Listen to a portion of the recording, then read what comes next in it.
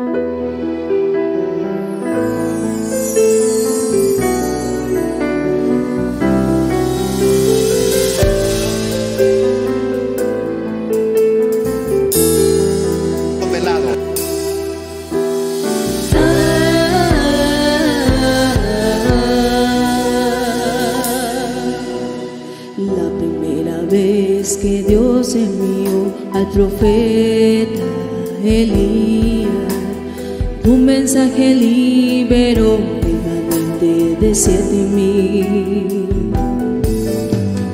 Es la quinta vez que Dios enviará al profeta Elías, serán liberados ciento cuarenta y cuatro mil. Cada vez que Dios ha enviado al profeta Elías, un pueblo gentil como la viuda de Sarepta obtendrá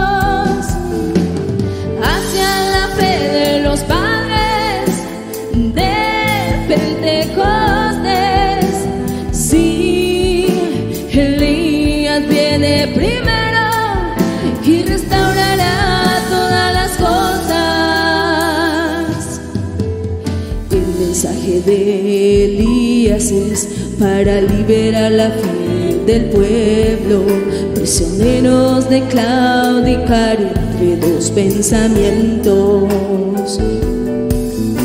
sacando de escena el nicolaísmo y balamismo y después de la gran sequía por causa de Acab y Jezabel traer de regreso lluvia temprana lluvia tardía. Y mi pueblo nunca más será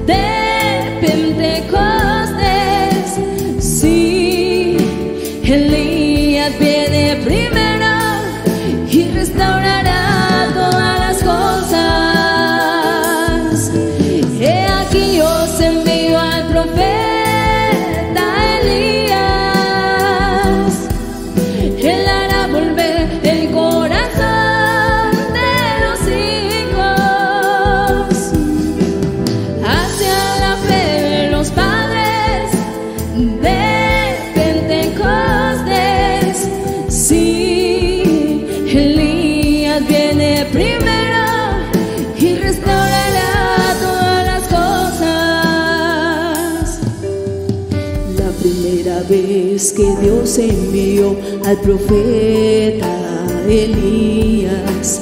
Su mensaje liberó remanente de siete mil. Es la quinta vez que Dios enviará al profeta Elías. Serán liberados ciento cuarenta y cuatro mil. Cuarta vez que Dios ha enviado al profeta Elías, un pueblo gentil como la viuda de Sarepta obtendrá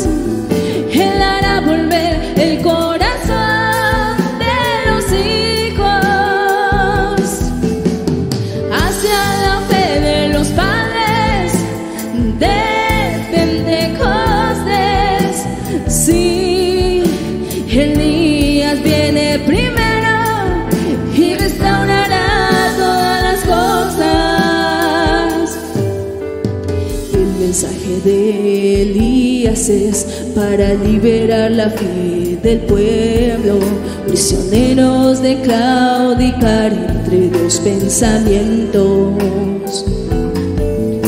Sacando de escena el nicolanismo y balamismo, y después de la gran sequía por causa de Acab y Jezabel, traer de regreso soy lluvia temprana, lluvia tardía. Y mi pueblo nunca jamás será.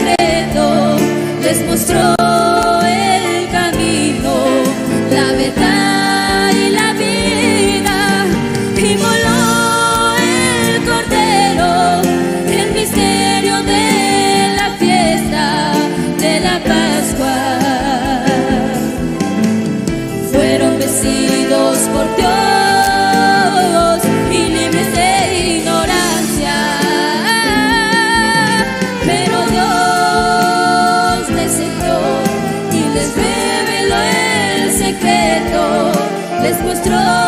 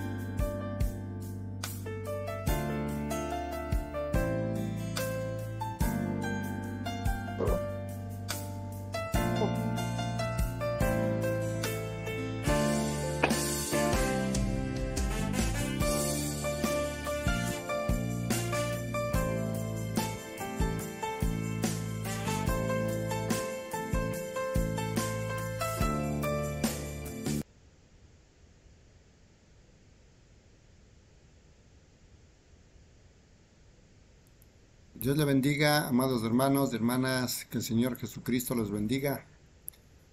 Vamos a dar inicio a un nuevo compañerismo y esta es la lectura de este glorioso mensaje de nuestro profeta Elías. Y vamos a pedirle la edición de nuestro Padre Celestial para que nos guíen esta tarde. Gracias.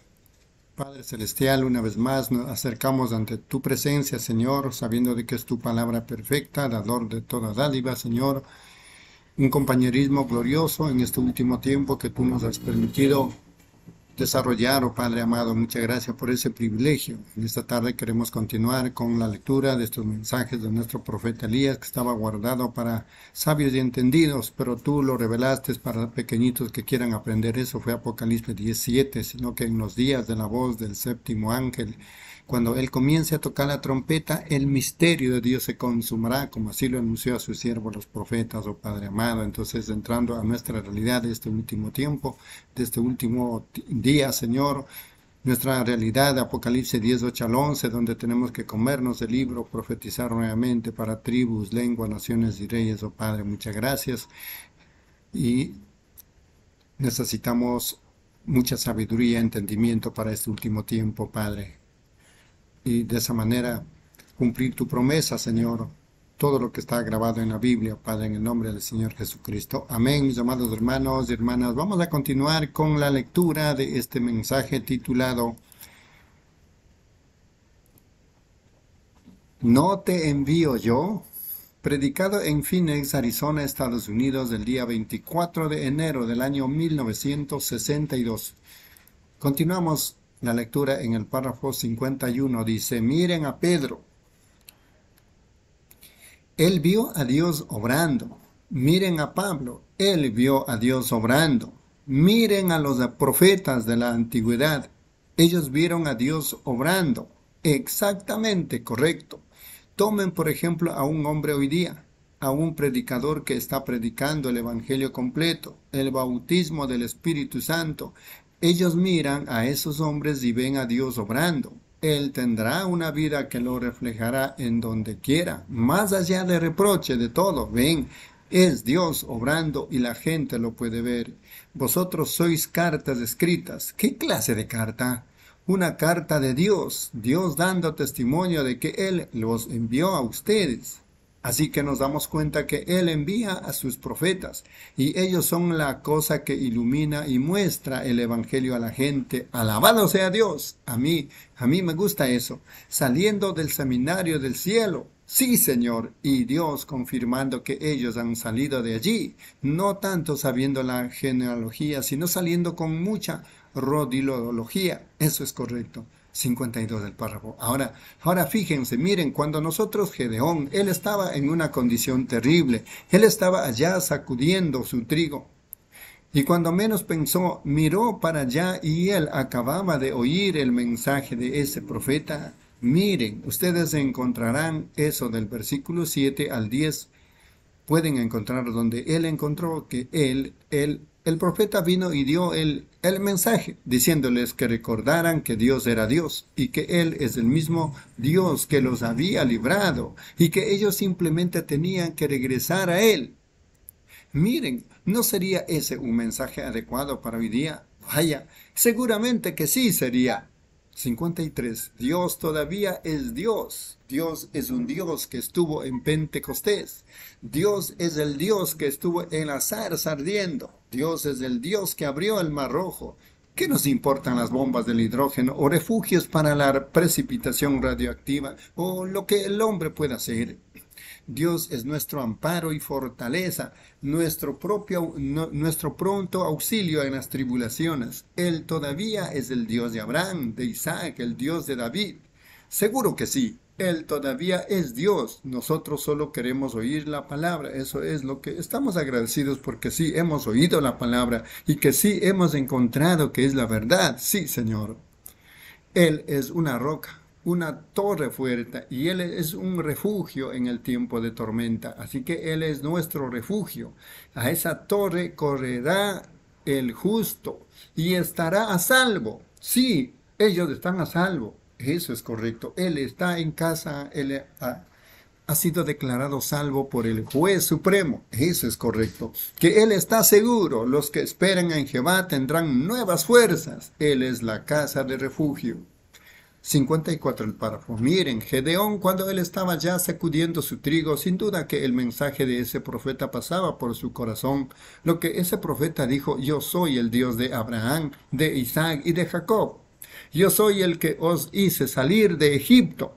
Yo soy el que os dio la que ustedes tienen. Vuélvanse a mí. Y allá él y su padre estaban sacudiendo ese trigo, y un ángel vino a él, o mejor dicho, él pensó que era un ángel. Resultó que no era un ángel, era Dios mismo, porque está escrito con letras mayúsculas, J-E-H-O-V-A, Jehová. Ven ustedes, párrafo 55. Y cuando le habló a Gedeón. Gedeón estaba un poco sorprendido. Él dijo, mira, varón esforzado y valiente. Él no sabía lo que era. Quizás ustedes no saben lo que son. Ustedes pudieran ser muchos de esos varones esforzados y valientes de esta noche, sentados aquí. ¿Se refiere usted a una, iglesita, un, en grupo pequeño? Oh, hermanos, únicamente estaban dos allí, él y su papá. Únicamente tienen que haber dos aquí. Usted y Cristo. Ese es todo lo que se requiere para ser un varón esforzado y valiente. Y eso es correcto. Miren, cuando menos se pensó que sucedió, tan pronto que él les dijo a Gedeón, varón esforzado y valiente, lo llamó, le dijo que él podía hacer, y él dijo, no, señor, no, señor, yo, yo sencillamente, yo, yo no puedo creer eso. 56. Miren, él parecía probablemente un anciano calvo sentado allí recostado contra una encina. Ustedes saben, sentado en la espalda contra la encina, quizás en una piel de, oveja envuelto en él, o algo así, con una vara en su mano, sin mucha atracción. Y él dijo, le dijo que había venido para comisionarlo, para que fuera a librar a Israel. El profeta ya había dado su mensaje, así que él dijo, yo estoy enviando, perdón, yo estoy enviado a ti, yo te estoy enviando a ti que hagas esto Pues dijo él, no, Señor, no, no, no, yo sé que el profeta pudiera haber dicho tal y tal y esto y aquello, pero, pero recuerda, él dijo, Dios está contigo. Él dijo, si Dios está con nosotros, entonces, ¿dónde están sus maravillas? Esa es la pregunta. 57. Bueno, miren que si él hubiera dicho, oh, seguro, nuestra organización llegó a 10.000 este año, Dios está con nosotros. No, cada uno de nosotros prosperó mucho, todo prosperó a tal grado que cada uno de nosotros obtuvo dos Cadillac. Ustedes no pueden ser espirituales en estos días, a menos que sean dueños de tres o cuatro Cadillac. Ustedes saben, cuando menos con estas cosas, ven, o algo de esa índole, o que tengan las cosas más grandes que hay en el país, pero escuchen, 58. No, él, él no pudiera obtener eso. Él no dijo eso. Ven ustedes, él dijo, sí, hoy día nosotros decimos, bueno, ¿cómo sabe usted que Dios está con nosotros? Porque estamos creciendo en número. Tenemos más iglesias que jamás hemos tenido. Tenemos, pues, usted sabe, aún el alcalde de la ciudad viene a nuestra iglesia. Nosotros sabemos, nosotros, nosotros, nosotros somos la iglesia más grande en Él. Nosotros somos la mejor que hay. Nosotros sabemos que Dios está con nosotros porque nuestra gente está prosperando. Ellos visten mejor ropa. Ellos son, ellos son, ellos tienen mejores casas. Eso está bien, estamos agradecidos por eso, pero eso no es una señal de que Dios está con ustedes. Párrafo 59. Gedeón sabía de lo que hablaba. Él dijo, entonces Señor, si Dios está con nosotros, ¿dónde están todas sus grandes maravillas? Ese profeta nos dijo que Él era un Dios que nos sacó de Egipto. Él hirió la tierra, Él los libró. Él es un Dios de liberación. Y si alguna vez Él fue Dios, Él todavía es Dios. Yo digo la misma cosa esta noche. Si Él alguna vez fue Dios, Él tiene que seguir siendo Dios siempre. Si Él alguna vez fue todo, el Todopoderoso, Él todavía es el Todopoderoso. Ciertamente que lo es. La Biblia dice, Él es el mismo y hoy y por los siglos. Hebreos 13:8. Jesucristo es el mismo ayer, hoy y por los siglos. Párrafo 60, por último. Él dijo, Mire, si ese es Dios, si Dios está con nosotros, ¿dónde están todos los milagros? ¿Dónde están todas las señales que él hizo? Miren, ellos pudieron haber tenido toda clase de señales y todo lo demás, pero no eran señales escriturales. Miren, ustedes, ustedes tienen que tener una señal escritural. Jesús dijo, algunos de ellos dijeron, bueno, bueno, nosotros tenemos más miembros, si nosotros tenemos una organización más grande, si tenemos esto, aquello o lo otro gente mejor vestida, si nuestras iglesias están creciendo, nuestra organización, nuestra denominación, nuestros, nuestros, nuestros ministros están mejor instruidos, ¿no es eso una señal que Dios está con nosotros? No, Señor, eso no tiene nada que ver con ello. Amén, mis amados hermanos y hermanas, que el Señor Jesucristo los bendiga. Estamos lecturando y continuando con la lectura de este glorioso mensaje. No te envío yo, predicado en Phoenix, Arizona, Estados Unidos, el día 24 de enero del año 1962. Hermana Reina, por favor, continúe en los párrafos 61 al 70. Amén. Dios le bendiga, hermanos y hermanas. Mensaje, no te envío yo. Párrafo 61.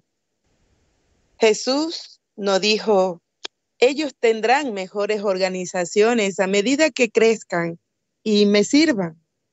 Ellos tendrán mejores iglesias a medida que crezcan y me sirvan. Jesús dijo, estas señales seguirán a los que creen. En mi nombre echarán fuera demonios, hablarán nuevas lenguas. Ahí lo tienen. Esas son señales escriturales. Sí, Señor. Si Jesucristo es el mismo ayer y hoy y por los siglos, entonces, ¿dónde está Él? Nosotros tenemos derecho de preguntar eso. 62.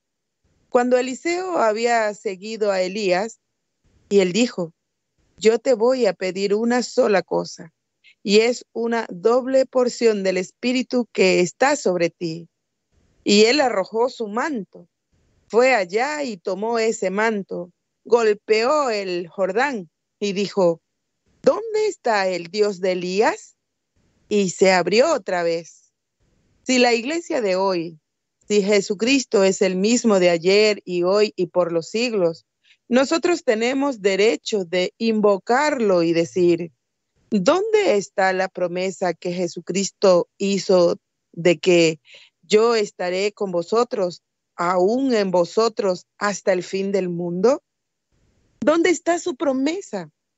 Déjenme verlo a él hacer sus obras. 63. Lo que hay que tomar primero es la palabra.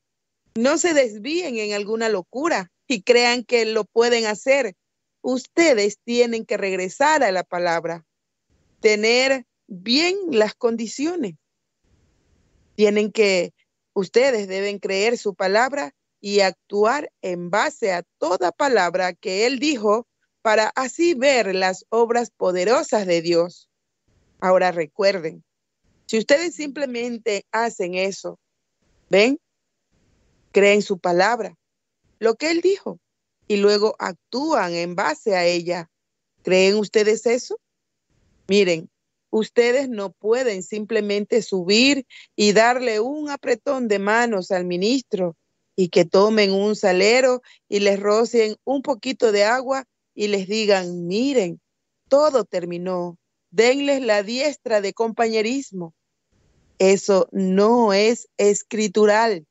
No, eso no está bien. Ustedes no pueden hacer eso. Ustedes tienen que seguir la palabra. Ustedes tienen que hacer exactamente lo que Dios dijo que hicieran. Eso es correcto. 64. Ustedes no pueden decir, bueno, yo creo que Jesucristo es el Hijo de Dios. Yo creo que recibí el Espíritu Santo cuando creí. Eso no es lo que dice la Biblia. No, Señor. Eso no es. Ustedes pueden creer, eso es correcto, para la para vida eterna. Ustedes pueden creer para vida eterna, pero luego Dios lo tiene que sellar con el Espíritu Santo. ¿Habéis recibido el Espíritu Santo desde que creísteis? ¿Ven? No cuando ustedes creyeron, sino después que ustedes creyeron, recibieron el, después que ustedes creyeron, entonces fuisteis sellados con el Espíritu Santo de la promesa.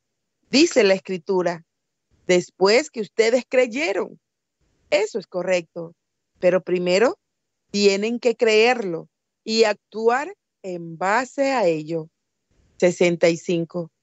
Ustedes no pueden decir, oh, hay muchos simpatizantes que dicen, oh, la Biblia está correcta. Sí, hermano Branham, yo creo que la Biblia está correcta, pero usted sabe, yo, yo no sé.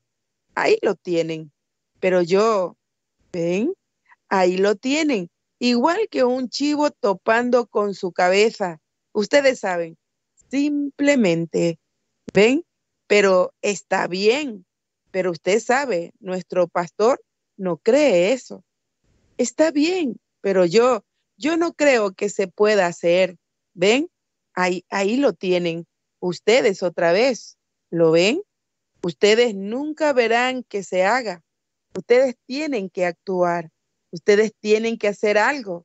Y cuando ustedes toman la promesa de Dios y saben que es la promesa de Dios y actúan en base a ella, ustedes verán los milagros poderosos de Dios regresando a la iglesia del Dios viviente. Eso es correcto. Ustedes lo verán. 66. Ahora, solo piensen esto, amigos.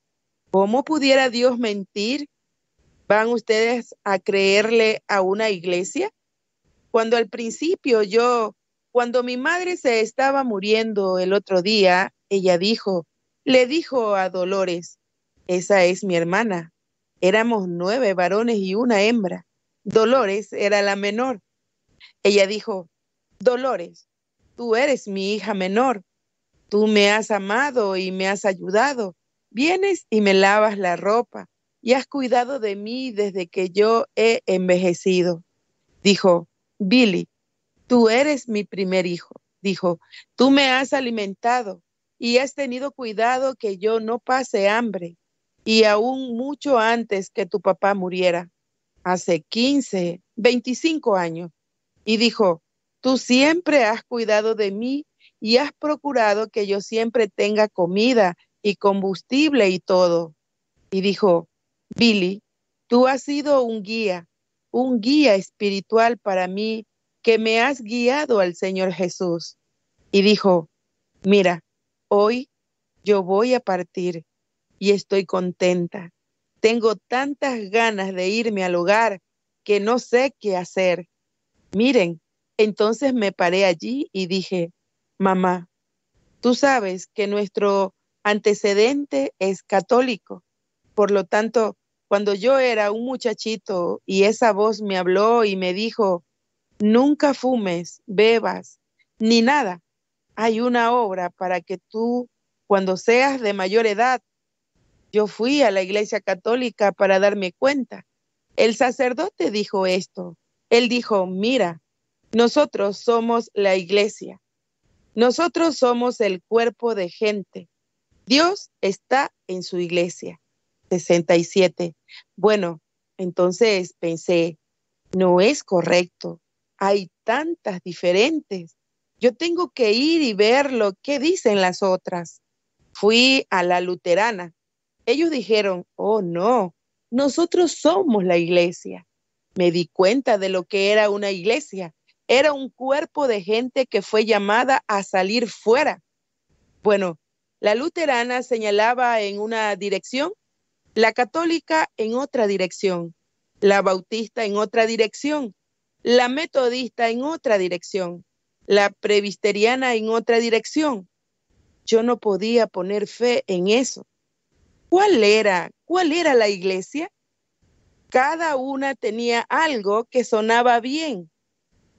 ¿Sabes qué hice, mamá? Yo fui directo a la Biblia. La palabra de todo hombre sea mentira, mas la mía sea verdadera.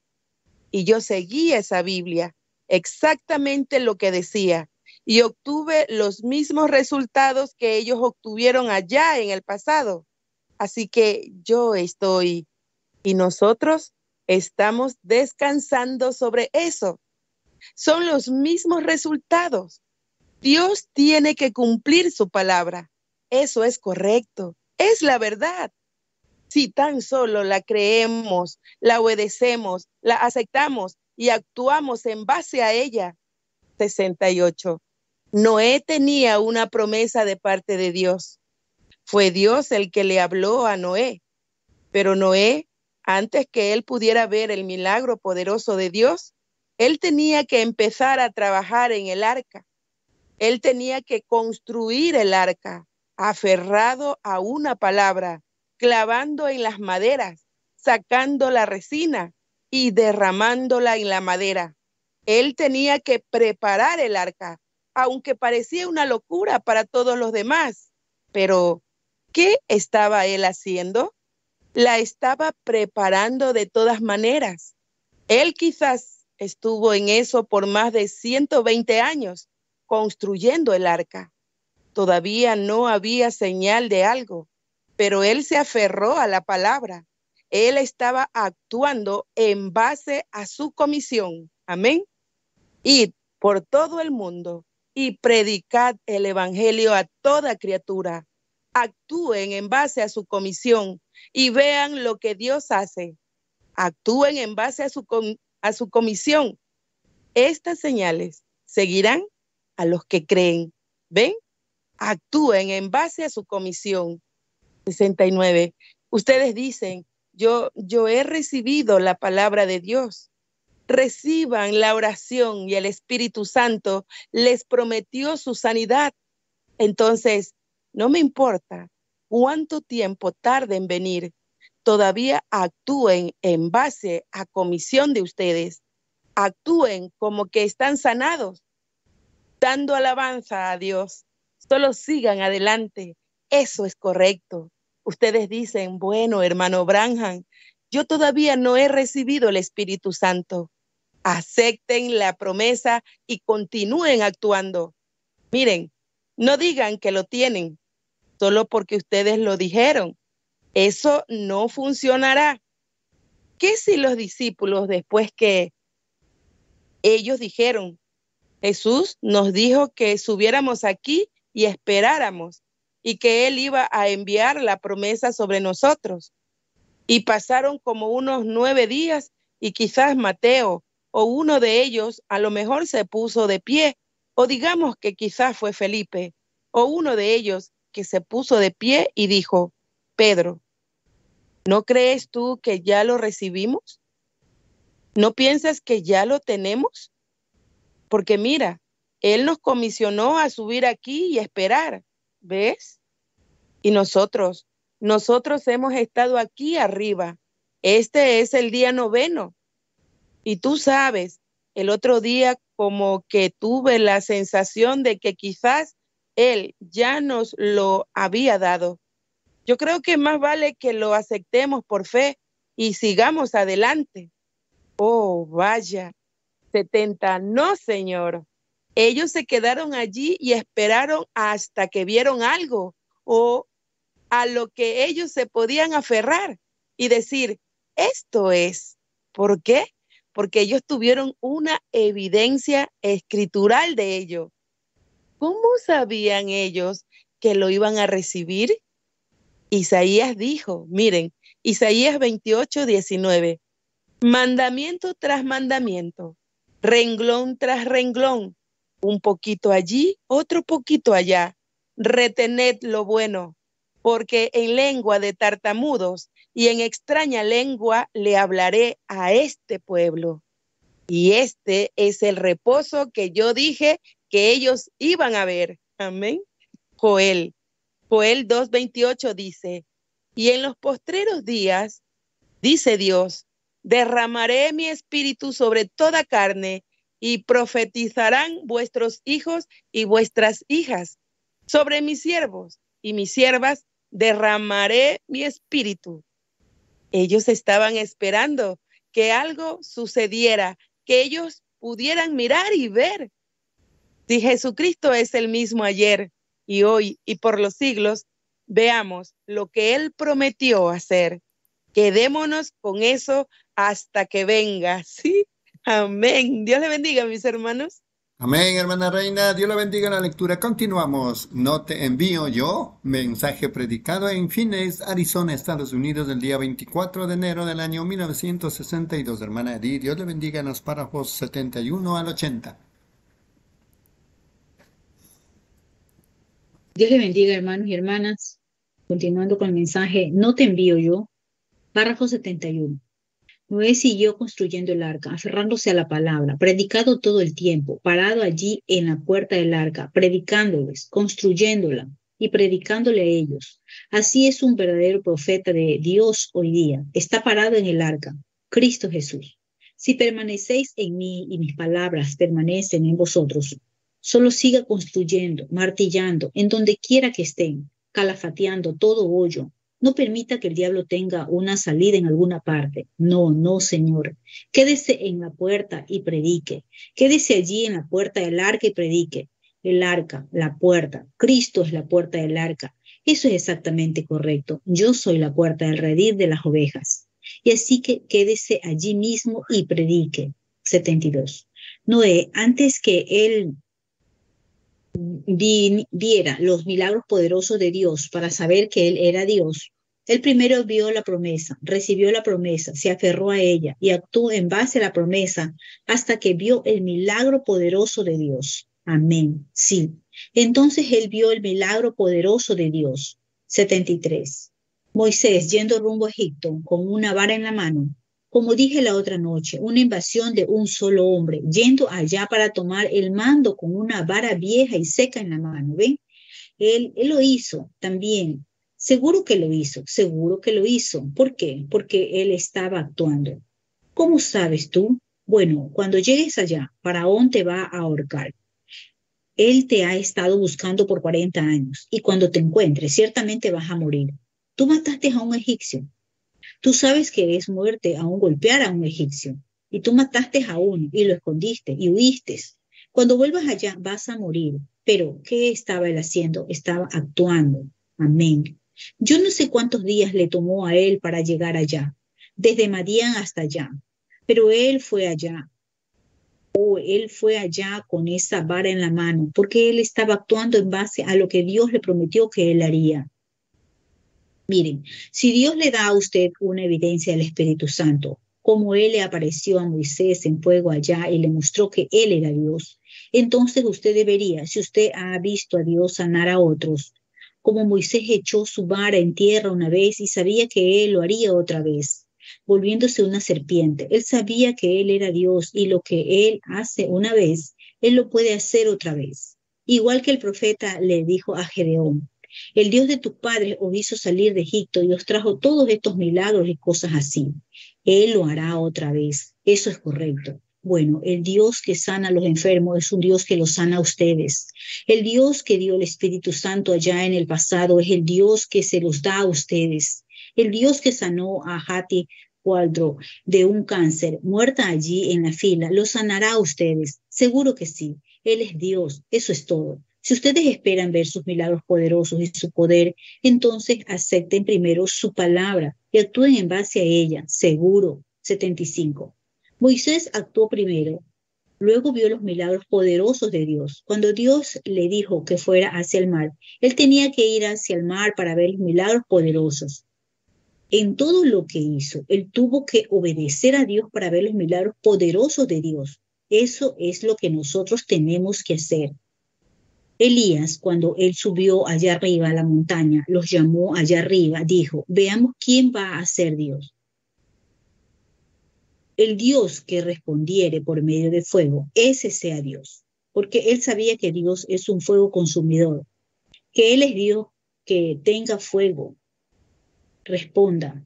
Ellos dijeron, esa es una buena idea, subiremos allá. Bueno, él no estaba temeroso de que eso pagano tuviera ventaja cuando ellos empezaron a invocar a Baal y cortarse y alborotarse y a saltar sobre el altar, él sencillamente caminaba de una punta a la otra. Decía, griten un poco más alto, quizás tiene algún trabajo, quizás él esté tomando una siesta, se fue a pescar o algo, ustedes saben. Dijo, griten un poco más alto.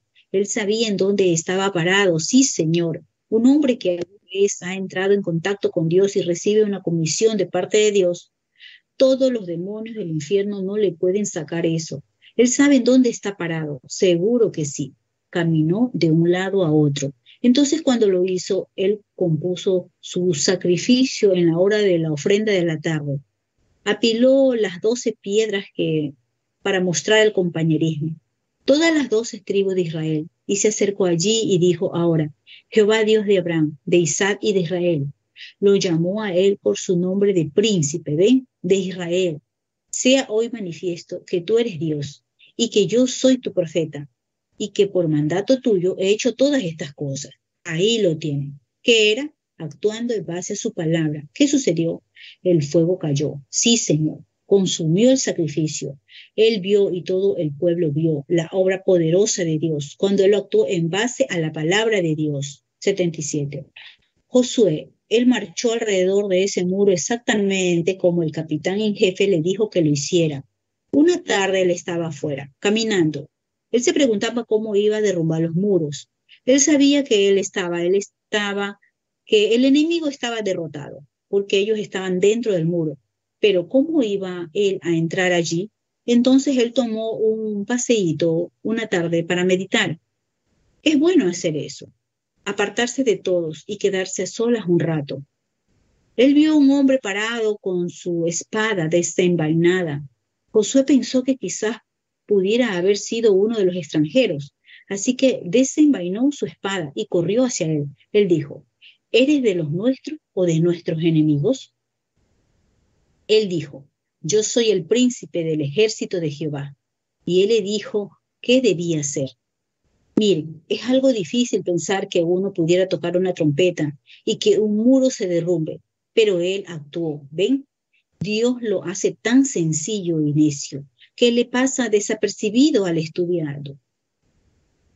Se necesitan esos analfabetas que no saben mucho para entenderlo. Eso es todo. Cuando ustedes lo tratan de entender, ustedes no lo pueden entender Ustedes tienen que tomar la palabra de Dios al respecto, de la manera que Él lo dijo que lo hagan, no de la manera que nosotros pensamos hacerlo. sino de la manera que Él dijo que lo hagamos. Eso es, háganlo exactamente de la manera que Él dijo que lo hagan. Y Josué marchó exactamente de acuerdo al mandato. ¿Y qué sucedió? Él tomó a Dios en su palabra y actuó en base a ella. Y él vio los muros caer y al enemigo morir. 79. Los jóvenes hebreos, ellos estaban actuando en base a la palabra de Dios. Dios les dijo que no se deberían postrar ante ninguna imagen y que ellos no deberían hacerlo. Entonces el rey dijo, o se postran o los arrojaré en el horno de fuego. Ellos dijeron, mira, espera un momento, nuestro Dios es capaz de librarnos. Nosotros sabemos lo que Él hará pero no vamos a postrarnos ante tu imagen de todas maneras. Así que ellos estaban actuando en base a la palabra de Dios cuando Dios ejecutó un milagro poderoso y envió al cuarto hombre entre ellos de esa manera y apartó el fuego de ellos. ¿Qué estaban ellos haciendo? Estaban actuando en base a la palabra de Dios y vieron el milagro poderoso de Dios.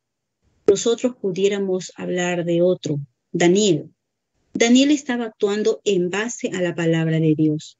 Él se postraba hacia el templo, sin importar lo que alguien dijera. Ellos no se avergonzaba de su religión y él oraba tres veces al día, actuando en base a la palabra de Dios y él lo vio. 80. Miren, Gedeón, me apresuraré.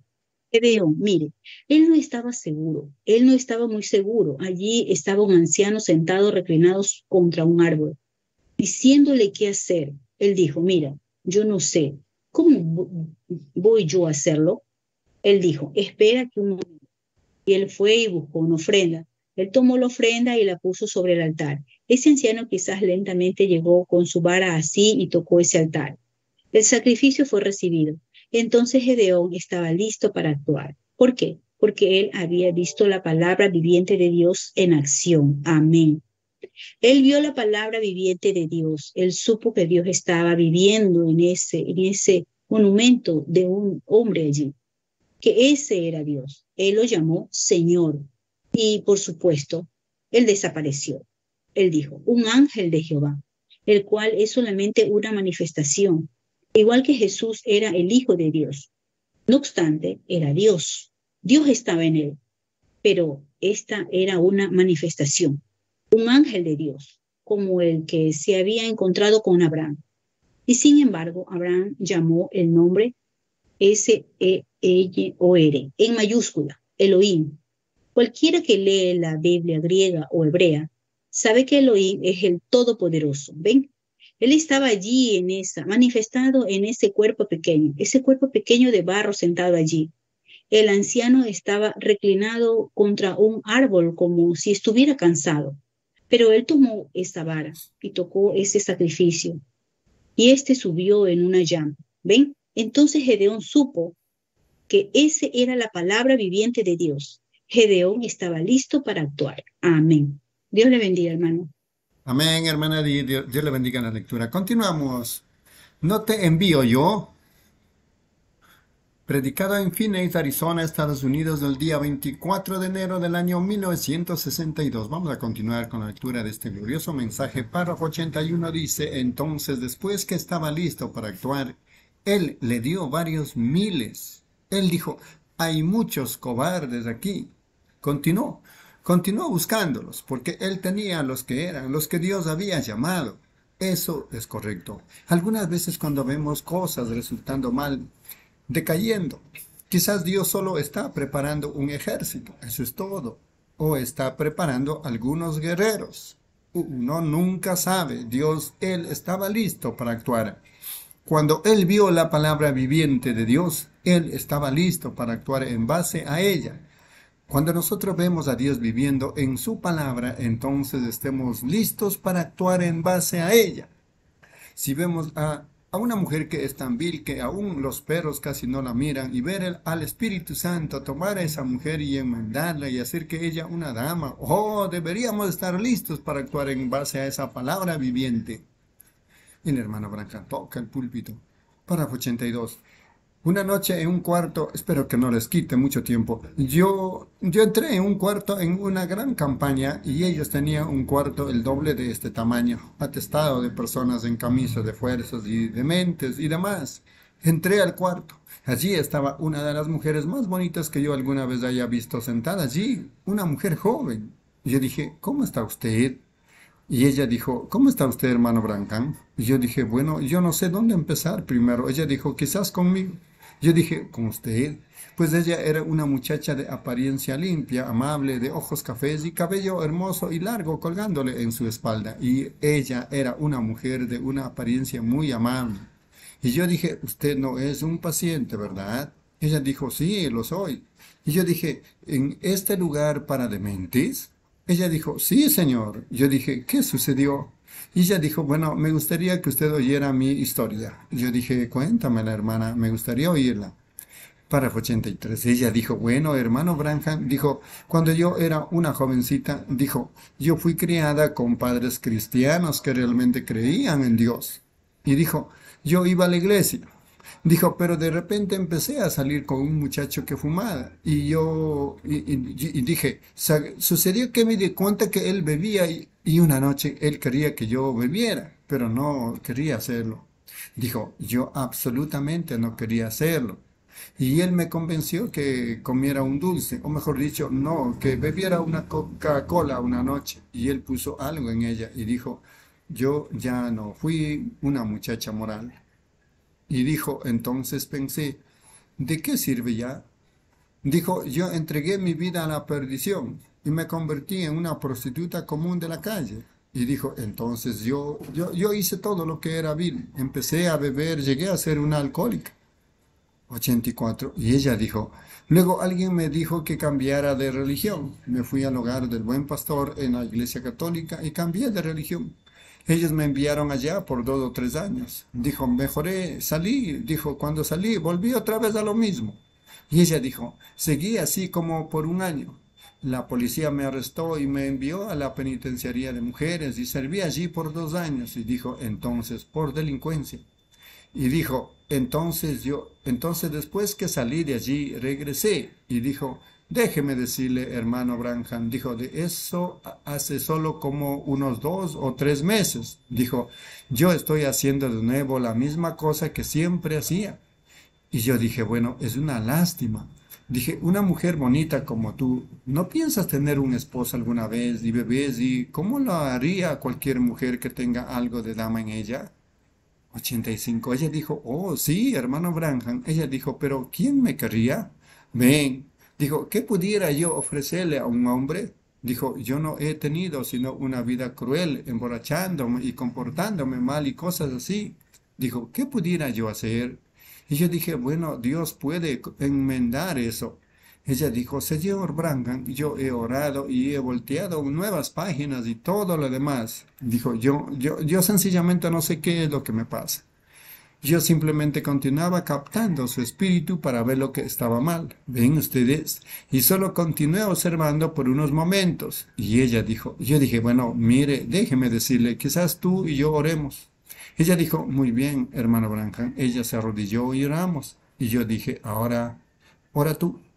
Y ella oró, dijo Dios. Y ella oró y oró. Al poco rato se levantó y me miró. Dijo, bueno, hermano Branham, Párrafo 86. Y yo puse mi mano sobre su hombro y dije, Dios te bendiga, hermana. Y ella se levantó, dijo, creo que ya todo terminó. Dijo, yo voy a salir de aquí y voy a tratar de vivir una vida diferente. Yo dije, hermana, tú vas a salir de aquí y vas a vivir la misma vida que viviste. Ven, yo dije, tú solo estás volteando una página. Yo dije, todavía no está bien. Así que dije, Oremos más. Nos arrodillamos y seguimos orando. Después de un rato algo la tocó.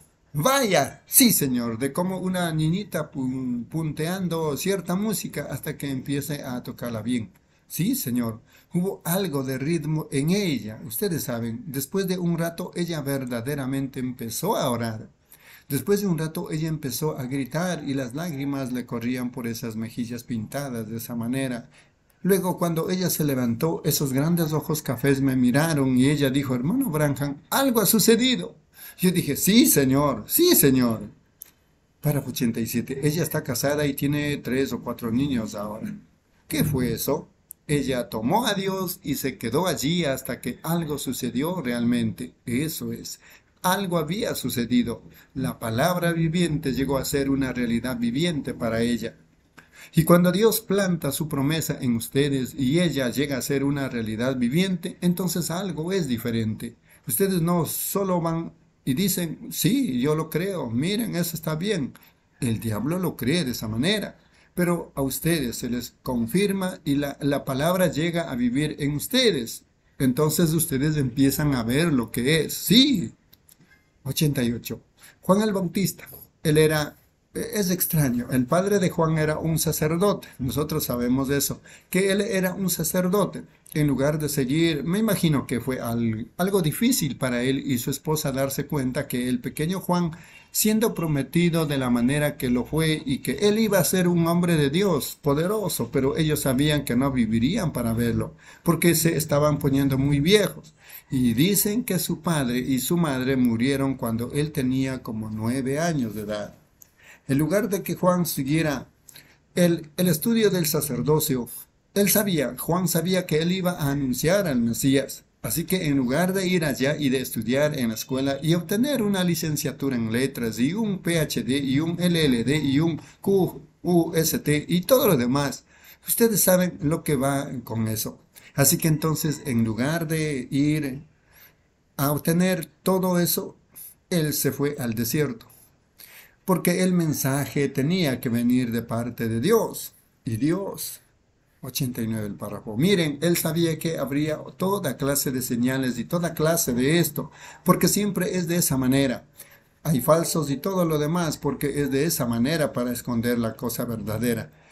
Hay mucha gente que actúa como que tiene el Espíritu Santo y sale y vive cualquier clase de vida. Ese es solo un espantapájaros para tratar de alejarlos a ustedes de la casa, cosa verdadera. ¿Dónde están todos los espantapájaros? No en un manzano agrio, sino en el manzano bueno. Eso es verdad. Es en donde está el espantapájaros. Y el diablo pone toda clase de espantapájaros alrededor de la cosa verdadera. Él no tiene que preocuparse por el otro. Ellos no lo van a molestar de todas maneras.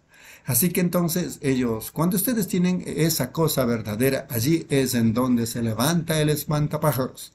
Allí es en donde el dólar falso es tan semejante, ustedes saben, que engañaría al escogido si fuere posible. Dijo Jesús, ven ustedes, allí es en donde ustedes deben vigilar, allí en esa cosa, amén. Párrafo 90 por último. Así que entonces nos damos cuenta que Juan no quiso tener todo confundido, no quiso estar todo confundido. Así que él esperó allá hasta que oyó de Dios. Y Dios le dijo qué clase de señal tendría el Mesías. Así que Juan estaba actuando en base a la palabra de Dios. Ellos vieron y dijeron, Juan, ¿eres, ¿eres tú el Mesías? Dijo, no. Dijeron, ¿eres tú ese profeta? No. ¿Eres tú Jeremías, Isaías, Elías o alguno de ellos? No, dijo, yo no soy él, pero él está parado aquí en vuestros medios en alguna parte ahora. Hay uno entre vosotros ahora. ¿Por qué estaba él tan seguro? Porque él sabía que era el tiempo para que la palabra de Dios se cumpliera. Amén. Gloria a Dios.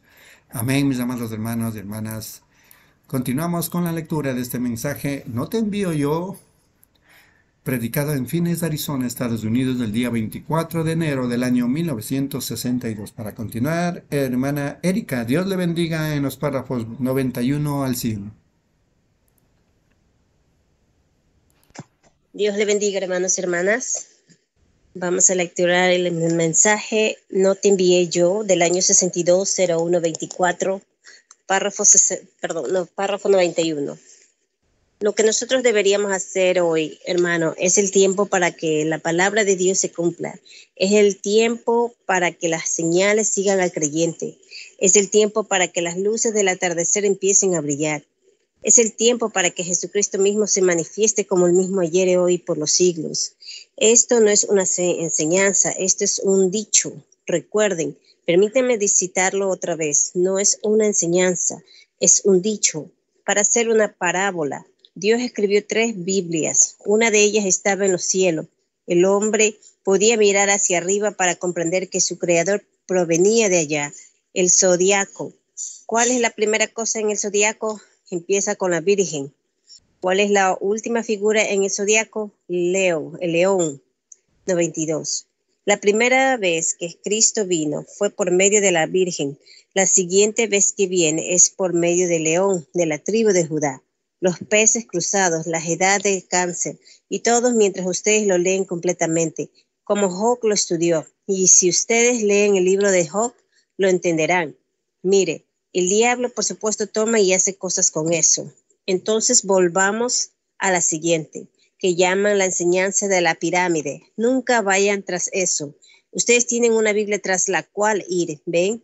Miren, la siguiente era la pirámide, pero sin tan solo captan el verdadero significado detrás de ellos, miren, observen la pirámide para la edad de la iglesia. ¿Sabían ustedes? Miren, en, tienen un billete de un dólar. Miren en la parte de atrás. Hay una pirámide en el otro lado está el sello de los Estados Unidos. ¿Por qué los Estados Unidos lo identificaría como el gran sello, poniéndolo así debajo de la pirámide? Miren por encima de esa piedra de arriba que corona la pirámide y la verán allí arriba con, una luz alumbrando alrededor de ella. ¿Ven? ¿Para qué está allá arriba? Ese es el gran sello 93. ¿Por qué eso no? Ellos nunca pusieron una corona en la pirámide. Yo he estado allí en la pirámide. ¿Por qué no le pusieron una corona? Porque fue rechazada. Esa fue la piedra del ángulo, donde todas las otras piedras se acomodan. Estaba hablando de la edad de la iglesia. Miren aquí la parte de abajo, en la edad luterana. Está en la mayoría. Allá, aquel, allá en aquel entonces, solo al confesar que Cristo era, ¿qué cosa? Eso solo significaba ser un cristiano, justificación. Luego vino Wesley, santificación, un poquito más angosto, la santificación. Luego vinieron los pentecostales con el bautismo del Espíritu Santo. ¿Qué es eso? Dándole forma, justificación, santificación, bautismo del Espíritu Santo. 94. Ahora, ¿qué está él, qué está él haciendo? Eso tiene que ser alisado tan perfectamente para que la iglesia entre en el lugar, entre en el tal lugar, para que la piedra que viene para encajar arriba de ella, ¿ve lo que quiere decir? Eso describe a la iglesia, que a través de todos ellos es la iglesia. Miren, eso es, eso es solo, eso es hacer una, una parábola de lo que estoy hablando. No traten ustedes de entrar en ello. Luego, la siguiente Biblia, la verdadera Biblia es esta. Esta es, la, esta es nuestra palabra. Esas otras son señales y cosas que ellos tenían allá en aquel entonces. Pero fíjense cuán perfecta es esa piedra. Fue rechazada. Ellos nunca la pusieron allí. ¿Por qué? Y si ustedes van allá, esas piedras en esa pirámide que pesan miles de toneladas, están tan unidas que uno no puede meter una navaja de rasurar. Y no hay mezcla entre ellas, están tan perfectas, unidas. Entonces, si eso tenía que ser de esa manera para hacer que cada edad encajara, entonces, ¿cómo va a ser cuando la venida? 95. ¿Cómo ven ustedes a la iglesia tomando forma? Luterano, justificación, Wesley, santificación. Luego vino el Espíritu Santo y ahora la iglesia está siendo alisada y arreglada, sin mancha ni arruga, para que así Él, quien no tuvo ni mancha ni arruga pueda descender y conectarse junto con la resurrección, para la resurrección, para que la iglesia del Dios viviente alce su vuelo hacia la gloria. Sí, ¿ven? Sí, miren, estamos viviendo en ese día 96. Miren, Juan estaba esperando que ese viniera el día, él dijo, yo lo conoceré, él está por allí, yo no sé dónde está él, él está parado por allí. Quizás algún obispo se acercó y dijo, ¿sabes qué? Yo he estado teniendo un sentir peculiar que me he estado recorriendo por todo mi ser hace bastante tiempo. ¿Sabes qué? Quizás soy el, el Mesías. Él dijo, vete, dijo Juan, ese no es él, muy bien. Por allí vino otro y dijo, ¿sabes qué? Yo tengo el título más alto. Yo soy Caifás, el sumo sacerdote. Si hubiera alguien ungido para ser el Mesías, un hombre, sería yo. No, no, no, ese no es él. Pero Juan dijo, aquel que me dijo en el desierto, ve y bautiza con agua, me dijo, sobre quien veas descender el Espíritu y que pertenece sobre él, ese es él, el que bautiza con el Espíritu Santo y fuego. 97. Y recuerden, Juan lo vio y nadie más lo vio. Era una señal dada a Juan para que la viera. Y él la vio y Juan estaba seguro. Y la razón que él podía anunciar que ese es el Mesías ¿Cómo puedes estar seguro? Yo estoy siguiendo la palabra de Dios. ¿Cómo puedo yo estar seguro que este hombre es un creyente? Yo estoy siguiendo la palabra de Dios. Dios dijo, estas señales seguirán a los que creen. No porque él tenía una licenciatura en letras o porque tiene un PhD o un LLD o es un obispo o sacerdote o cardenal o papa. ¿Ven? Eso no tiene nada que ver con ello. Esas son tradiciones hechas por el hombre. Aleluya. 98.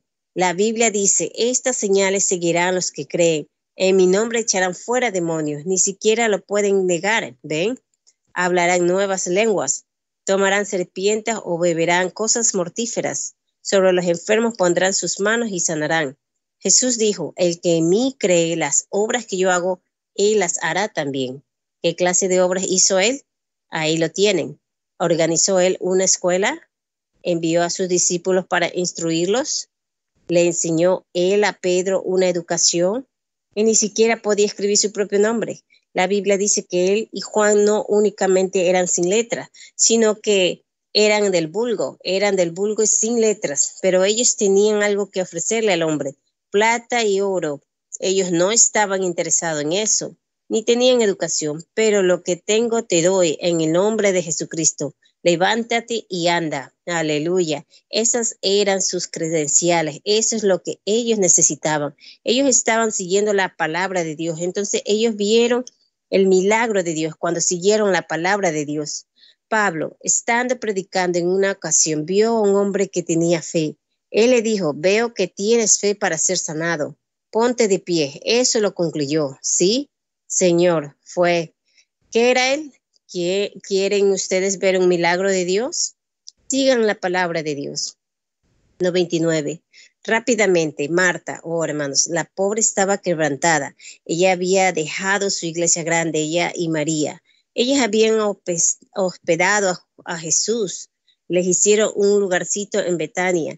Después que él, él no tenía lugar para quedarse. Ellas le habían dado un lugar un hogar allí con ellos, con ella, con Marta y María y Lázaro. Y ellos pensaron que él de seguro era el Mesías y todo esto. Y el hermano se enfermó. ¿Ven ustedes cómo Dios permite que sucedan cosas? Sencillamente los hace pedazos a ustedes para probarlos. Todo hijo que viene a Dios debe ser probado y examinado. Amados, perdón, amados, no os sorprendáis del fuego de prueba que os sobrevino todo eso sucede para probar vuestra fe. ¿Ven? Párrafo 100. Y así que Jesús se fue y él le dijo que se iba a ir. Y así que luego ellas enviaron por él y le dijeron que Lázaro se había enfermado. Así que ellas enviaron por él diciendo, el que tú amas está enfermo. Jesús no le prestó ni una pizca de atención y siguió adelante y se fue a otra ciudad. Y más mensajeros vinieron y dijeron, Lázaro está enfermo está a punto de morir, regresa. Jesús sencillamente lo ignoró como si nada había sucedido. Siguió adelante, ¿ven? Él ya había visto lo que el Padre iba a hacer, porque él dijo en San Juan 5:19, de cierto, de cierto os digo, no puede el Hijo hacer nada por sí mismo, sino lo que ve hacer el Padre. Y lo que el Padre le muestra al Hijo, eso es lo que él, yo trabajo, mi Padre hasta ahora trabaja y yo trabajo. ¿Ven? Yo únicamente hago lo que Él me muestra que haga. Miren, él no, él no mintió, Él no puede mentir, Él nunca ejecutó un solo milagro que hasta que primero Dios le mostrara a Él por una visión que hacer. San Juan 5:19. Si no es así, entonces esas palabras está errada. Entonces, si está errada, ¿qué clase de Biblia estamos leyendo? ¿Ven? Todo está inspirada, todo está correcta, ¿ven? Pero él lo hacía y también lo hacían todos los profetas a medida que Dios le mostraba a él qué hacer. Dios le bendiga, hermanos. Amén, hermana Erika. Dios le bendiga la lectura. Recordando, estamos lecturando este glorioso mensaje titulado No te envío yo, predicado en Phoenix, Arizona, Estados Unidos, el día 24 de enero del año 1962. Continuamos, hermana Reina, en los párrafos 101 al 110.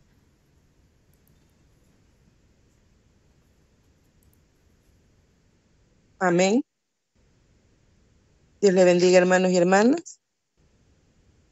Continuando con la lectura del mensaje, ¿no te envío yo? Párrafo 101.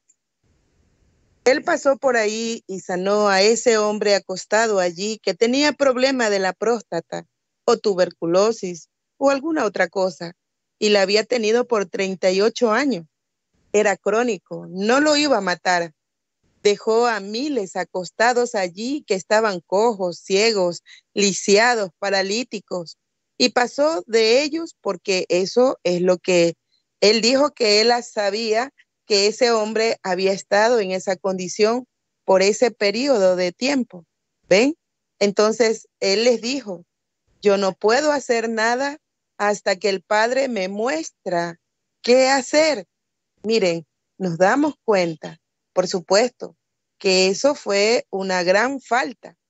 Ellos pensaron eso contra él, pero él únicamente obraba para agradar a Dios. Y cualquier hombre que está sirviendo a Dios, obrará para agradar a Dios. Él hará lo que Dios dice que haga, absolutamente. 102. Marta, ella estaba consciente que él era. Después de un rato, miren, Marta, ellos habían estado diciendo que ella no era, que ella era dilatoria y cosas así pues quería mantener su casa limpia. Pero cuando vivo el reto, ella mostró sus colores. Sí, señor. María estaba sentada llorando porque su hermano estaba muerto, pero Marta salió y se encontró con la palabra viviente. En el principio era el verbo, y el verbo era con Dios, y el verbo era Dios y el verbo fue hecho carne y habitó entre nosotros. Él era la palabra viviente de Dios. Eso es correcto. La palabra de Dios manifestada. Con razón, él podía pararse y discernir los pensamientos de la gente. Miren, la Biblia dice, ustedes dicen, oh, ¿es eso la palabra?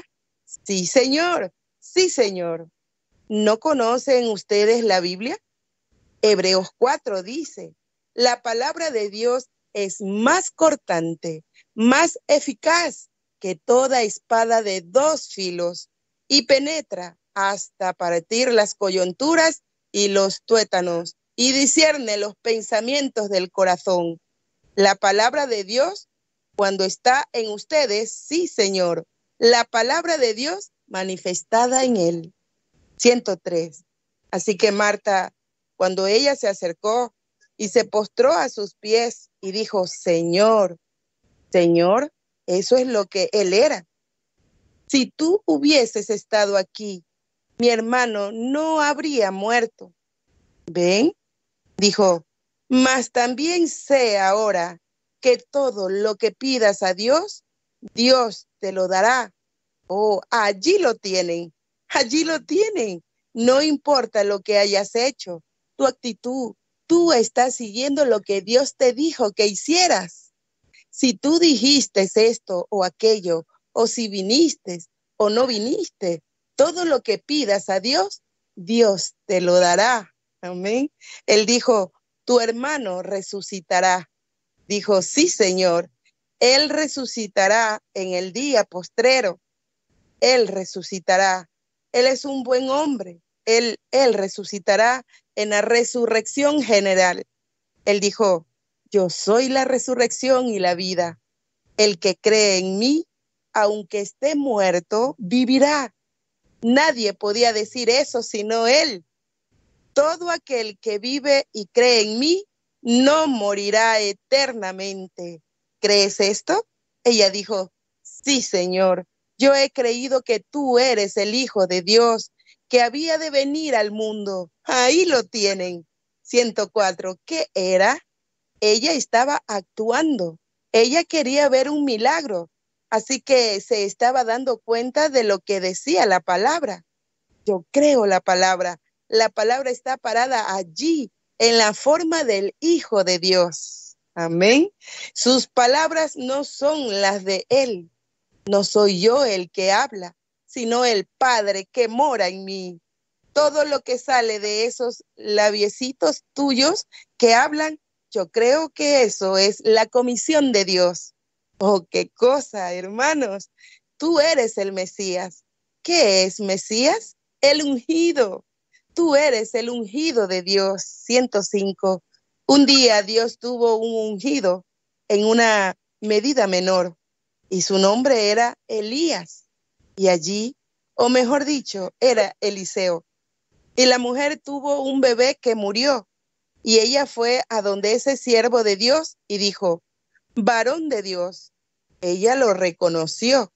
Y ese ungido de Dios fue y anduvo por todo el piso Oh, hermanos, tendió su cuerpo sobre el niño muerto y éste estornudó siete veces y volvió a la vida. Y si Dios hizo eso por medio de su profeta ungido, ¿cuánto más hará él por medio de Emanuel? Yo he creído que tú eres el Hijo de Dios. Si ustedes alguna vez reciben algo de parte de Dios, tienen que creerle al siervo de Dios la palabra de Dios. ¿Ven? Y él era la palabra. Yo creo. Solo dime qué debo hacer. ¿Dónde lo pusisteis? Él fue al sepulcro, llorando como un hombre. Cuando llegó allí, ¿qué dijo él que hicieran entonces cuando llegaron allí? ¿Ven? Ellos también tenían algo que hacer.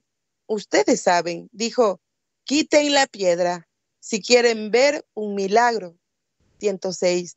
Ustedes, personas enfermas esta noche, si ustedes quieren ver un milagro, quiten la piedra, quiten esa piedra, ese pecado que está a la puerta. ¿Qué es? Dicen, hermano Branham, yo no hice nada.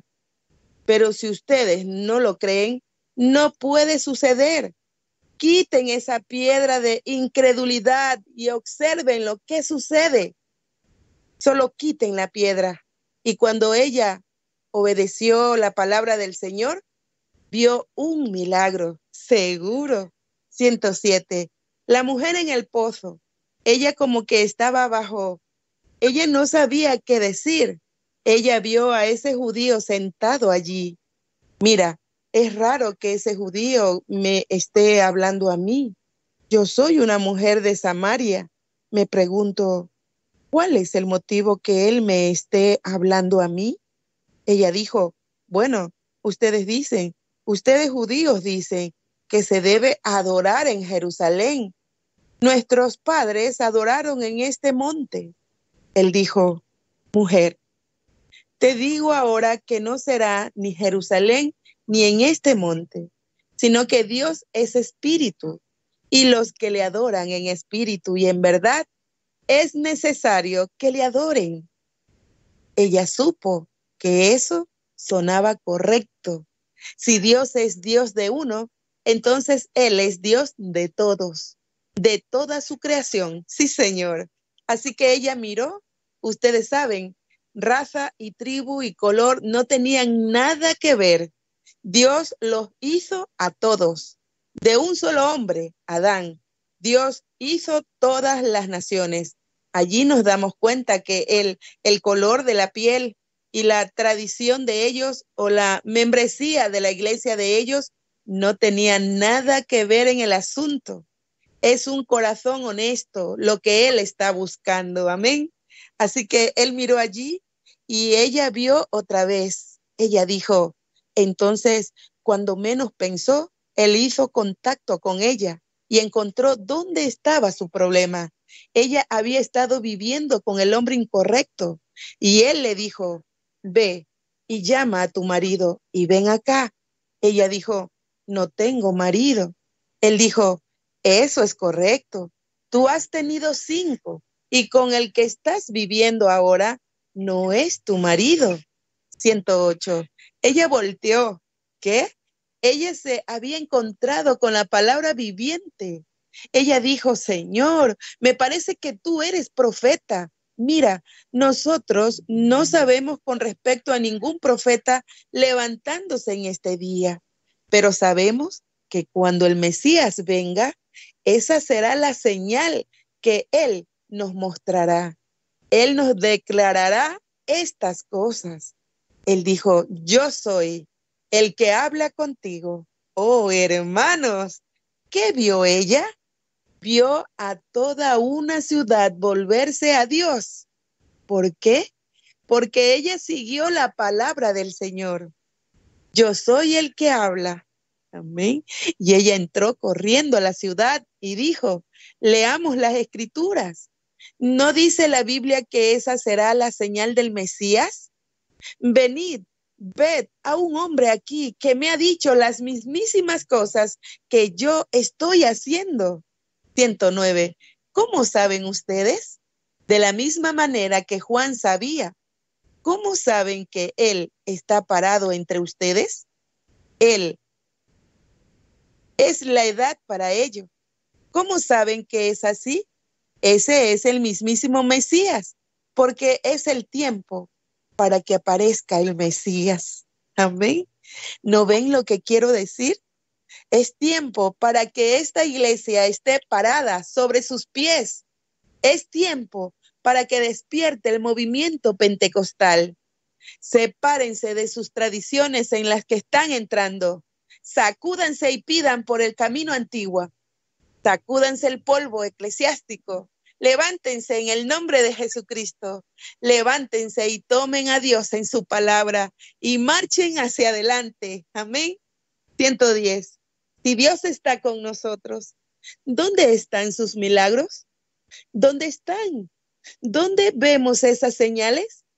Si Dios está en todas estas iglesias y en estas enormes torres eclesiásticas y lo demás, y en todos estos títulos y cosas así, entonces muéstrenme sus milagros. ¿Dónde está Dios? Gloria, eso es. ¿Dónde está Dios? ¿Dónde están sus milagros? ¿En dónde Dios aparece? Allí está lo sobrenatural. Amén. Señales sobrenaturales siguen a un Dios sobrenatural. Dios es. ¿Dónde están todos sus milagros? Amén. Dios les bendiga, mis hermanos. Amén, gloria a Dios. Dios le bendiga la lectura, hermana Reina. Continuamos. No te envío Dios, predicado en Phoenix, Arizona, Estados Unidos, del día 24 de enero del año 1962. Hermana Edith, por favor, en los párrafos 111 al 120. Dios le bendiga, hermanos. Continuando con el mensaje, no te envío yo. Párrafo 111. Ella vio el milagro de Dios, la señal del Mesías. Ella hizo que toda la ciudad, la Biblia dice que todos los hombres, Jesús ya no lo hizo más. Ellos creyeron el testimonio de la mujer. Ella entonces tuvo el privilegio de guiar a toda la ciudad a Cristo, porque ella siguió su palabra y vio que él podía ejecutar un milagro. Supo que él era. La gente pentecostal, los de Pentecostés, los 120 que fueron, después que habían creído en él, ellos fueron y le obedecieron. Esperaron en el aposento alto hasta que fueron investidos de poder desde lo alto. Eran cobardes. Bajaron las persianas, pusieron trancas en las ventanas. En un aposento alto, pequeño, se fueron por el lado del templo, subieron por el lado y entraron por una puerta. Estuvieron allí arriba por, arriba por diez días y noches, esperando. Hermano, cuando la palabra fue manifestada, ellos salieron por las ventanas y puertas y fueron a las calles. Algo había sucedido. ¿Por qué? Porque ellos habían visto un milagro.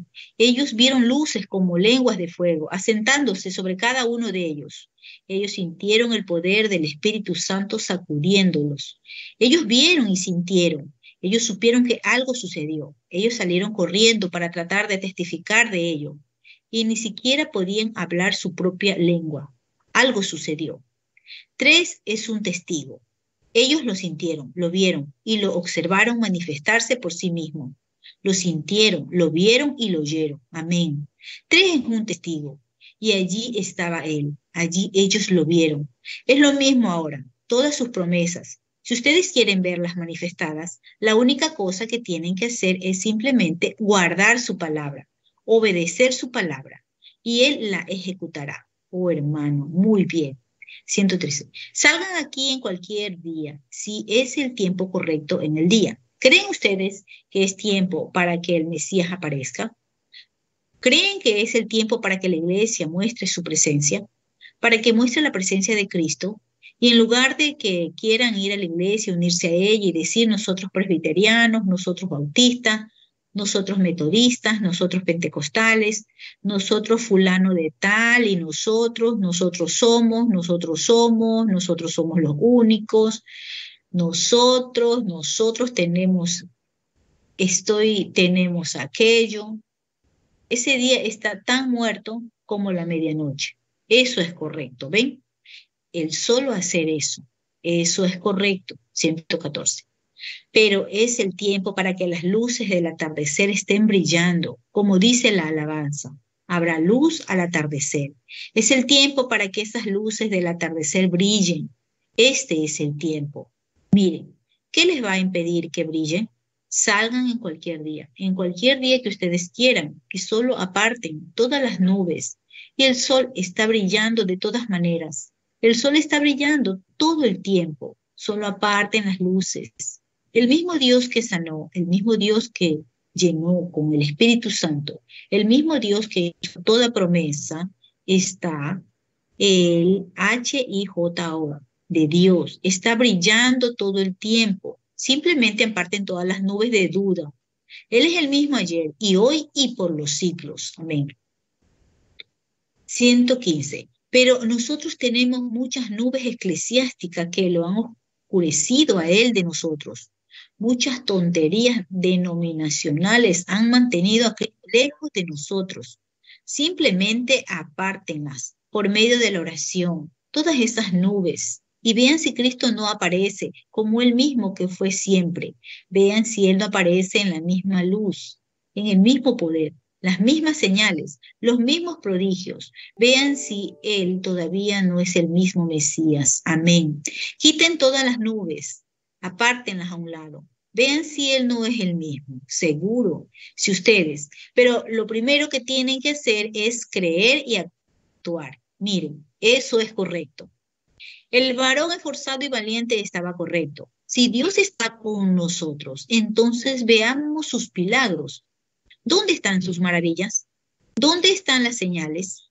Si Jesucristo es el mismo ayer y hoy y por los siglos, entonces, ¿Dónde está la señal de que Él es el mismo? ¿Qué prometió Él? San Juan 14, 12.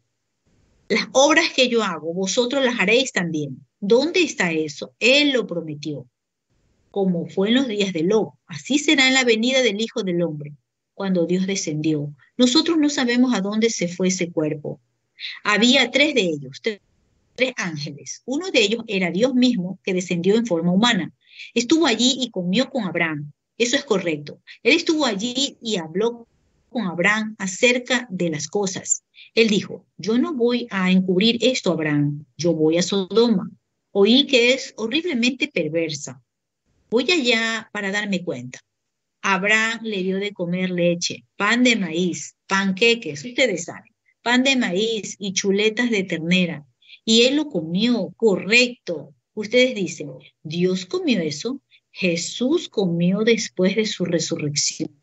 Seguro que él comió, seguro. Él estuvo allí y comió. Alguien dijo, ese no era Dios. Bueno, entonces Abraham estaba equivocado. Él lo llamó Elohim. Él sabía que era Dios. 117. Dios. ¿Qué estaba él haciendo? Estaba mostrando algo. Igual que cuando él echó a la sierva y a su hijo en la libre y su hijo Es por eso que Abraham no quería casarse con Agar. Pero él, ella dijo, cásate con ella. Escucha lo que Sara te dice, porque tenía que ser cumplido. El profeta tuvo que acostarse por unos cientos de días y luego del otro lado. ¿Para qué? Como señal. Y él estaba mostrando una señal ahí. Dios manifestado en la carne. Dijo, Jesús se dio la vuelta. Su hijo cuando él vino a la tierra y dijo, como fue en los días de Noé, comiendo, bebiendo, casándose y dándose en casamiento, así será en el fin del tiempo. Y como fue en los días de Lot, así será en la venida del Hijo del Hombre. Como dije anoche, siempre hay tres elementos, incrédulos, manufacturados y creyentes. Y allí estaban los sodomitas, el incrédulo. Allí estaba Lot, el manufacturado. Y allí estaba Abraham, la iglesia elegida, la llamada a salir fuera. ¿Ven? Aquí estamos hoy, aquí estamos hoy día. Allí está el incrédulo, los sodomitas. Mírenlos allá afuera, mujeres caminando por las calles con pantaloncitos cortos, fumando cigarrillo, cortándose el cabello, llamándose cristianas. Sí, oh hermanos, haciendo toda esta clase de... llamándose cristianas. Oh sí, Señor, fiestas, bailes, los hombres pervertidos. Yo recibo cartas de allá. Los homosexualidad está en aumento. Ustedes venla. Yo recibo las estadísticas del gobierno acerca de ello. Aumentó 30% el año pasado. La perversión. El curso natural de la vida humana está pervertido. Sodoma. Miren a los fríos formales metidos en eso, como si nada, revolcándose con los cerdos. 119. Observen a ese mensajero que fue allá, dos de ellos, un moderno Billy por decirlo así, predicando y cegándolos con la palabra. Luego vio una iglesia que no hacía eso, que fue llamada a salir fuera, esa iglesia elegida. Gloria, gloria, la iglesia elegida, Abraham y su grupo. ¿Qué les apareció a ellos? El mensajero que le apareció a Abraham. Lo llamó por su nombre que Dios le había dado a él solo unos cuantos días antes. De Abraham a Abraham, de Sarai a Sara. Y dijo, ¿dónde está Sara tu mujer? La llamó a, por su nombre. Dijo, ella está en la tienda de atrás, detrás de ti. Dijo, yo te voy a visitar, Abraham, de acuerdo a la promesa que te hice, según el tiempo de la vida de Sara. Y Sara se rió entre sí, de esa manera. Él dijo, ¿por qué se rió Sara? ¿Quién era? Era Dios. El hermano Brana toca en el púlpito. 120. Algo así dijo Jesús, que antes que llegara el tiempo de que esa iglesia elegida, ese grupo pentecostal, miren, Pentecostés no es una organización. Miren, ustedes hermanos que tienen las asambleas pentecostales, la Pentecostal Unida, la Iglesia de Dios Pentecostal, la Cuadrangular Pentecostal y todas esas. Ustedes mismos se están engañando. Esa es una organización, lo cual está bien. Yo no tengo nada en contra de eso, pero ustedes no son ese grupo. Pentecostés es una experiencia que la metodista, la bautista, la presbiteriana, que la asamblea y la cuadrangular y la iglesia de Dios y la pues la del nombre de Jesús y todas las demás la puede recibir si ellas tan solo obedecen la palabra de Dios y siguen tras Él. Ellas verán el milagro de Dios que cambiará la vida de ellas y las cosas cesarán y ellas llegarán a ser. La metodista la puede recibir, la católica la puede recibir, la presbiteriana la puede recibir. ¿Cuántos católicos hay que en una ocasión eran católicos que pueden levantar su mano? ¿No puede el católico recibirla? ¿Cómo? Dios le bendiga, hermanos. Amén, hermana. Dios le bendiga la lectura. Continuamos con este glorioso mensaje. No te envío yo, predicado en Phoenix, Arizona, Estados Unidos, del día 24 de enero del año 1962. Continuamos con la lectura de este glorioso mensaje. Párrafo 121 dice, Jesús dijo, como fue en los días de Sodoma, así será en la venida del Hijo del Hombre. Es el tiempo del atardecer. ¿Dónde está Dios? Si Dios está con nosotros, ¿dónde están los milagros? Miren, Hebreos 13:8 dice, Jesucristo es el mismo ayer y hoy y por los siglos. ¿Creen ustedes esto?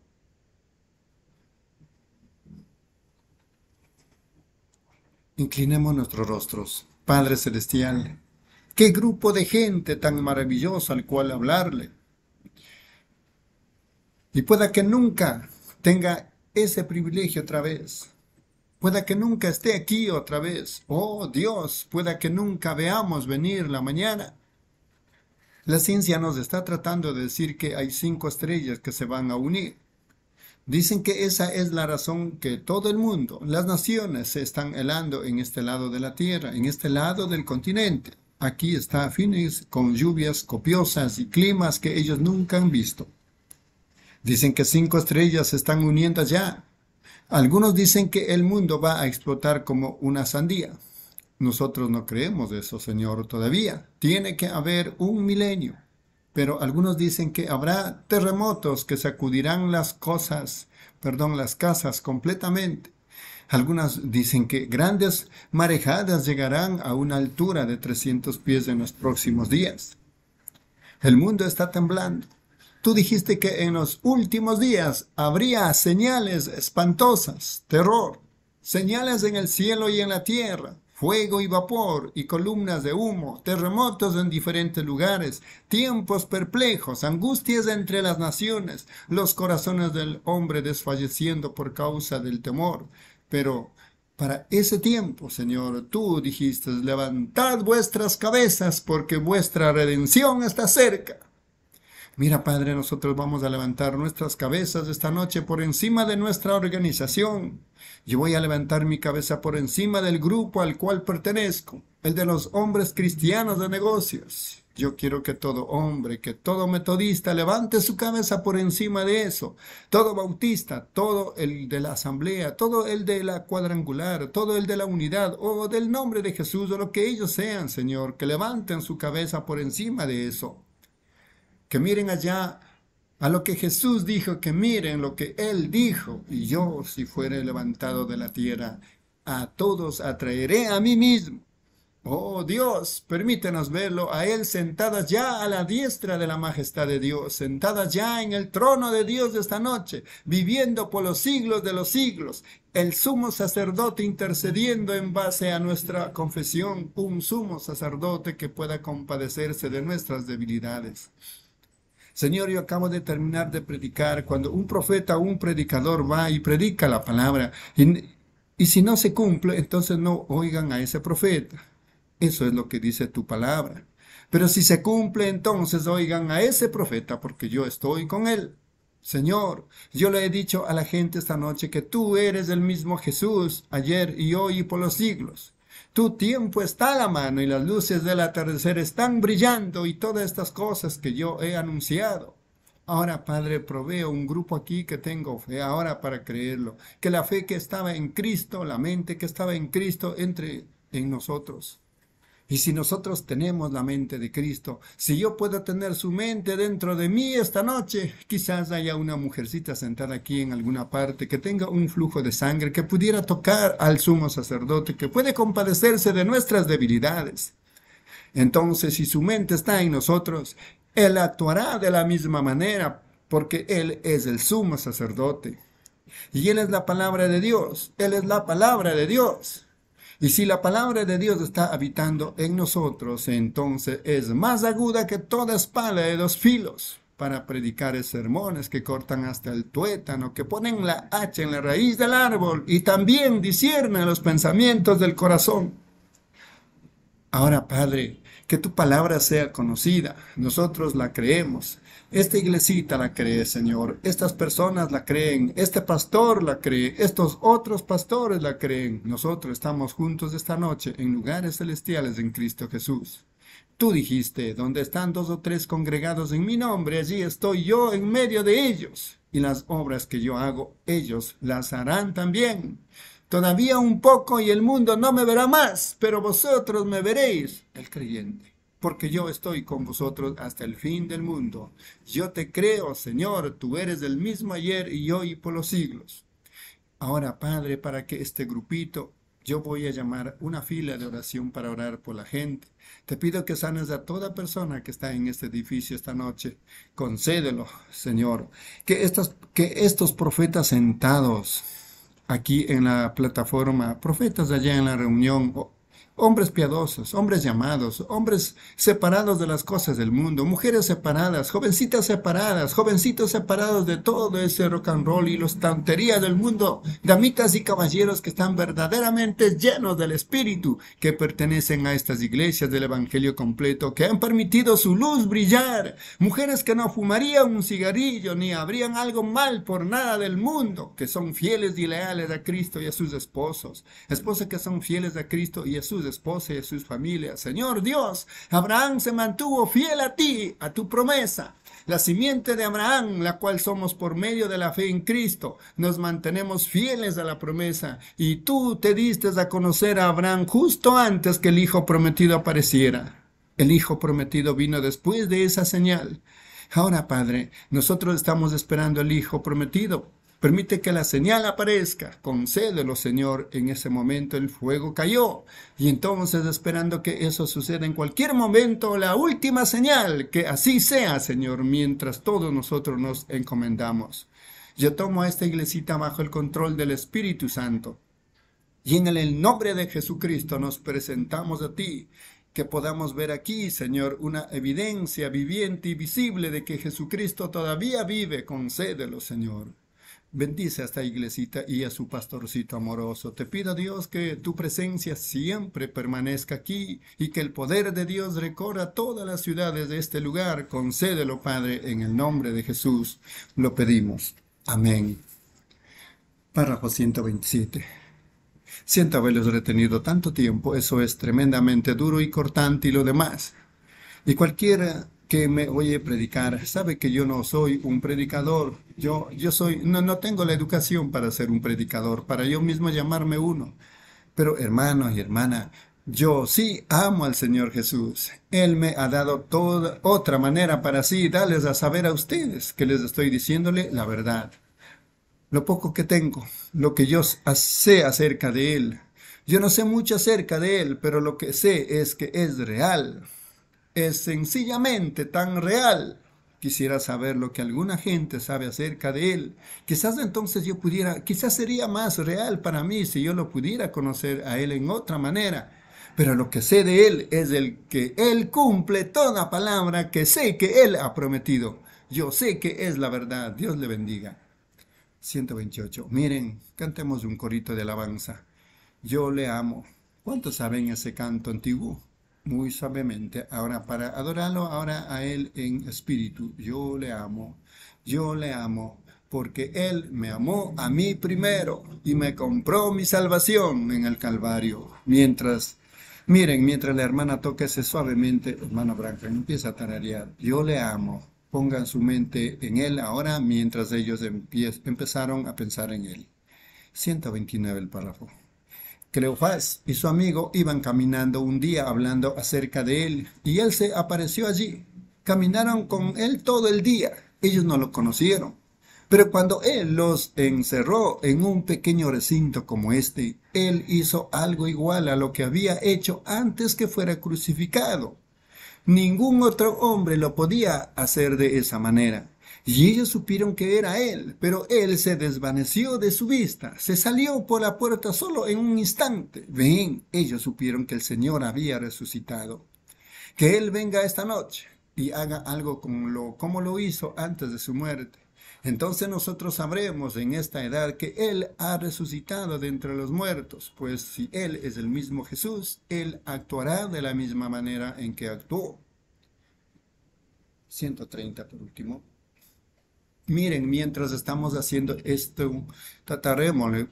Quiero que estrechen la mano de alguien sentado a su lado y digan, hermano, hermana, yo voy a estar orando por usted para que sea sanado esta noche, para que reciba todas las bendiciones de Dios que, de, que usted desee. Digan eso mientras ustedes, díganlo uno al otro mientras nosotros, porque el hermano Branga se aleja y saluda a otros. Que Dios le dé todo lo que usted desee que usted reciba todo lo que usted, Dios le bendiga, reciba todo lo que usted desee, todo lo que usted desee, todo lo que usted desee. Yo le amo. Yo le amo porque Él me amó a mí primero y me compró mi salvación en el madero del Calvario. Amén. Recordando, mis amados hermanos y hermanas, estamos lecturando este glorioso mensaje titulado No te envío yo, predicado en Fines, Arizona, Estados Unidos, el día 24 de enero del año 1962. Para continuar con la lectura, hermana Reina, por favor, en los párrafos 131 al 140.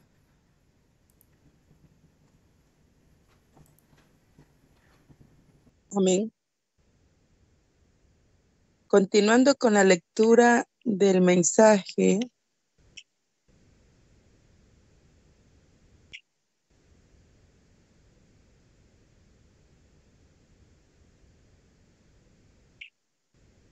ciento cuarenta y uno. ¿No te envío yo? Párrafo ciento cuarenta y uno.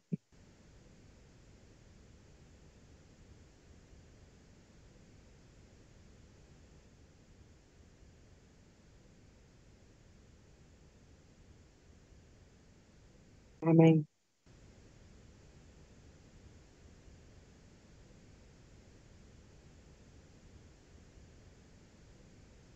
Juntos.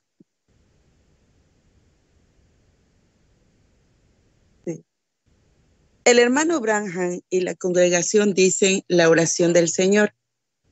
Padre nuestro que estás en los cielos, santificado sea tu nombre. Venga tu reino, hágase tu voluntad como en el cielo, así también en la tierra. El pan nuestro de cada día, dánoslo hoy. Y perdónanos nuestras deudas, como también nosotros perdonamos a nuestros deudores. Y no nos metas en tentación, mas líbranos del mal, porque tuyo es el reino y el poder y la gloria por todos los siglos. Amén. Yo, una hermana habla con el hermano Branham y le da un testimonio. Sí, señora. Sí, señora. Gracias sean dadas a Dios. Gracias. Él siempre está presente. ¿No es Él maravilloso? Entonces yo le amo. ¿No es Él maravilloso al haber sanado a esa dama? Yo, porque, y compró mi salvación en el madero del Calvario. Oh, Él es maravilloso, ¿no lo es? Alabado sea Dios, es tan maravilloso. Muy bien. Tarjeta de oración de la una hermano habla con el hermano Branham acerca de las tarjetas de oración. Repartieron las tarjetas de oración de la 1 a la 50, de la 1 a la 50. Llamemos unas cuantas de ellas. Miren, nosotros simplemente, ¿de dónde llamamos? Bueno, es un grupo diferente esta noche. ¿No lo es? ¿Es la misma letra? La B y la C. Llamemos de la C de la 1 a la, veamos cuántos, cuántas podemos llamar. Llamemos de la 1 a la 10. 1B, o mejor dicho, C1. La tarjeta de oración número 1. ¿Quién la tiene? Levante su mano. La señora allí la tiene. ¿Tiene usted la tarjeta de oración número 5? Muy bien, 5. ¿Quién tiene la 1? Quizás estoy equivocado muy bien. Uno, dos, tres, cuatro, cinco. Párenlos aquí. 133. Solo ustedes, niñitos, por favor, váyanse allá atrás, allá al lado de la puerta. Suban aquí, cariñitos, por favor. Suban aquí a la plataforma. Me imagino que eso estará bien.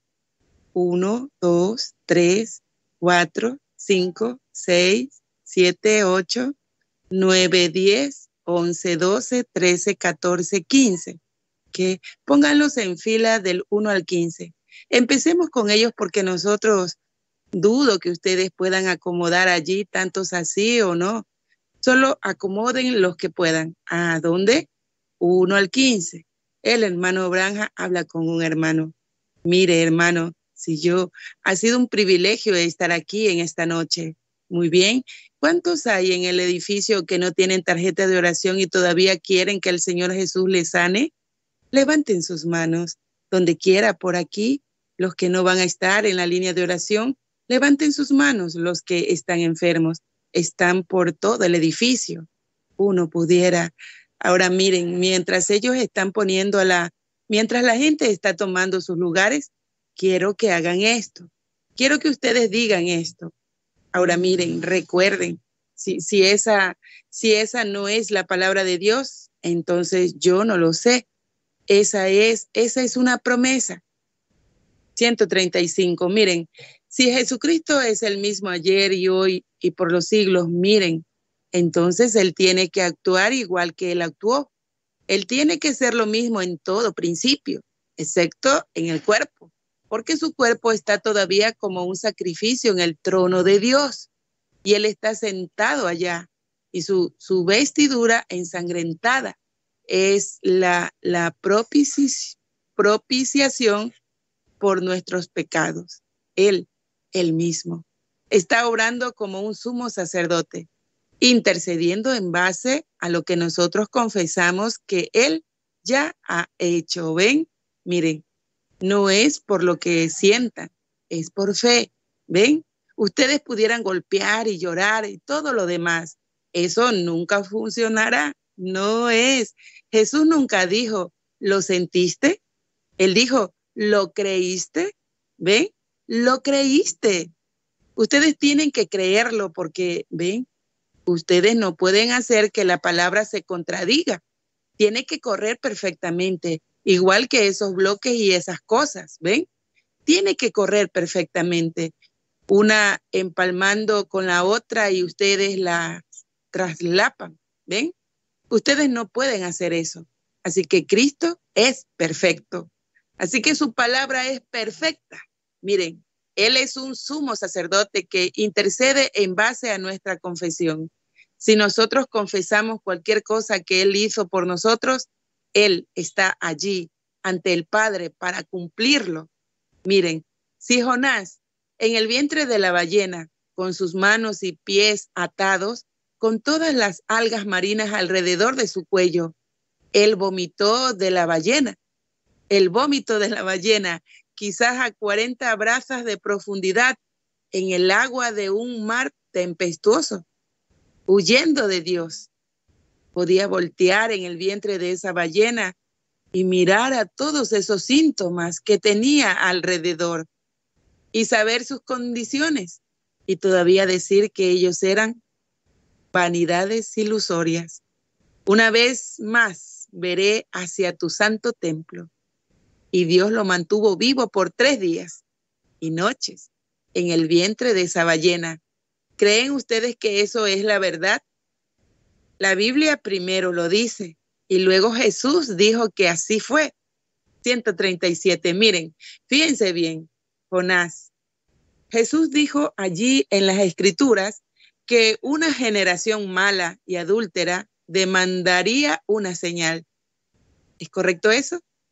Y que ellos verían una señal, la señal de Jonás. Como estuvo Jonás en el vientre de la ballena tres días y tres noches, así estará el Hijo del Hombre en el corazón de la tierra tres días y tres noches. Entonces Jonás salió del vientre de la ballena. ¿Es correcto eso? Miren, ¿es esta una generación mala y adúltera, tanto física como espiritualmente? Adulterio espiritual, adulterio físico. La generación mala y adúltera recibirá una señal. ¿Cuál era? ¿Cuál señal era entonces? Como estuvo Jonás en el vientre del gran pez y salió, así estará el Hijo del Hombre en el vientre de la tierra, en el corazón de la tierra y resucitará. Amén. Entonces, la señal que recibirá esta generación mala y adúltera sería la señal de la resurrección. ¿Es correcto eso? La señal de la resurrección. Miren, ¿qué sería entonces? Sería Cristo resucitado de entre los muertos y después de dos mil años todavía está vivo, obrando con su pueblo, el mismo ayer y hoy y por los siglos. ¿Es correcto eso? 138. Miren, ¿Cuántos de esta gente enferma, cuánta gente en la línea de oración sabe que yo no sé nada acerca de ustedes? Levanten su mano. Ustedes que están en la línea de oración, que saben que yo no los conozco, ni sé nada acerca de ustedes, ni nada más. ¿Ven? Yo no conozco a ninguno de ustedes en esta línea de oración. Yo diría eso para empezar. Ahora, hay algunas personas allá en la audiencia que yo sí conozco. Yo conozco a este, estas, este, como desde esa, esa, desde esa niñita pelirroja allá, yendo en esta dirección. Yo conozco a los que están en la fila allí. Conozco al hermano y a la hermana Downs. A esos dos detrás de ellos los conozco. Esos dos detrás de ellos yo los conozco. Aquí mismo, en esta fila. Aquí. Uno, dos, tres, cuatro, yendo hacia atrás. Yo los conozco. Miren, yo creo, si no me equivoco, que esos son el hermano y la hermana Outlaw, sentados allá atrás provenientes de la iglesia del nombre de Jesús, y el hermano y la hermana Showman, el diácono de mi iglesia en Jeffersonville, o mejor dicho, el síndico en la directiva. 139. Miren, yo soy, yo no sé, yo creo que aquí en este rincón sentado aquí, este hombre joven y mujer joven, creo que es el cuñado del hermano Norman. No recuerdo su nombre, eso es correcto. Fuera de esos, yo no los conozco. Conozco al hermano Williams y al hermano Rose y acabo de conocer a este hermano aquí. Y fuera de esos, yo, yo no conozco a ninguno. Creo que ustedes, creo que usted es la hermana húngara. ¿No es así? Downey, Downey, eso es correcto. De Memphis, muy bien. Miren, fuera de esos, y mi hijo ni siquiera lo veo a él ahora, así que en donde quiera que él esté, esos son todos los que conozco. 140. Ahora, ¿cuál es la primera señora en la línea? ¿Usted allí o usted es aquí? Usted es la primera señora. Muy bien. ¿Pudiera usted pararse aquí un momento? Miren, aquí está una mujer a quien nunca había visto en mi vida. Miren, si yo dijera, allí está un hombre sentado en una silla de ruedas, él está sosteniendo su brazo. Parece ser que está paralizado o algo, ¿ven? Yo no sé lo que pasa, pero está inválido. Si yo dijera, ese hombre está inválido, cualquiera puede ver eso, ¿ven? Pero aquí está una mujer que luce saludable y fuerte. Ahora, ¿dónde está su problema? Allí es en donde viene su milagro. ¿Ven ustedes? Eso es, ¿ven? Es algo así. Amén. Dios le bendiga, mis hermanos. Amén, hermana Reina. Dios le bendiga la lectura. Continuamos. Mensaje, no te envío yo, predicado en Phoenix, Arizona, Estados Unidos, del día 24 de enero del año 1962. A continuación, hermana Di, en los párrafos 141 al 150. Dios les bendiga, hermanos. Continuando con el mensaje, no te envío yo, párrafo 141. Miren, sí, bueno, yo. Si yo viera a una persona que estaba toda jorobada, su pecho todo hundido, tosiendo, bueno, yo pudiera decir que tiene tuberculosis. Eso sería una suposición, ¿ven? Esa persona pudiera decir, oh, no, yo no tengo tuberculosis, ¿ven? Y pudiera ser probado que no tiene tuberculosis, ¿ven? Uno no sabe. Pero cuando Dios dice algo, está correcto, siempre es correcto, siempre es correcto, siempre es correcto. Ahora bien, esta mujer solo pudiera estar fingiendo, ella pudiera estar diciendo que tiene algo que no tiene, pudiera ser que ni siquiera esté enferma, pudiera ser que no tiene nada mal. Yo no sé eso, yo no sé. Si ella solo está parada allí para regañar, no se preocupe, ella será expuesta en unos minutos. ¿Ven ustedes? ella lo sabrá, ella se dará cuenta. ¿Cuántos han estado en una reunión y han visto que eso sucede? Oh, qué cosa. Yo he visto morir más que 200 o 300 por eso. 142. Yo sé de un hombre esta noche que está paralizado. Ha estado de esa manera por varios años. Cuando yo estuve allá en la ciudad de Sion, ese hombre estaba sentado atrás, tratando de hipnotizarme delante de esa gente, y yo continuaba tratando de tener una línea de oración.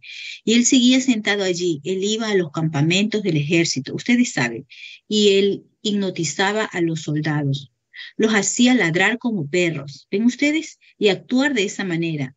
Yo seguía sintiendo ese espíritu raro y ellos, ellos lo enviaron allí, una iglesia conocida. La noche anterior allí había venido un hombre que pertenecía a una cierta denominación.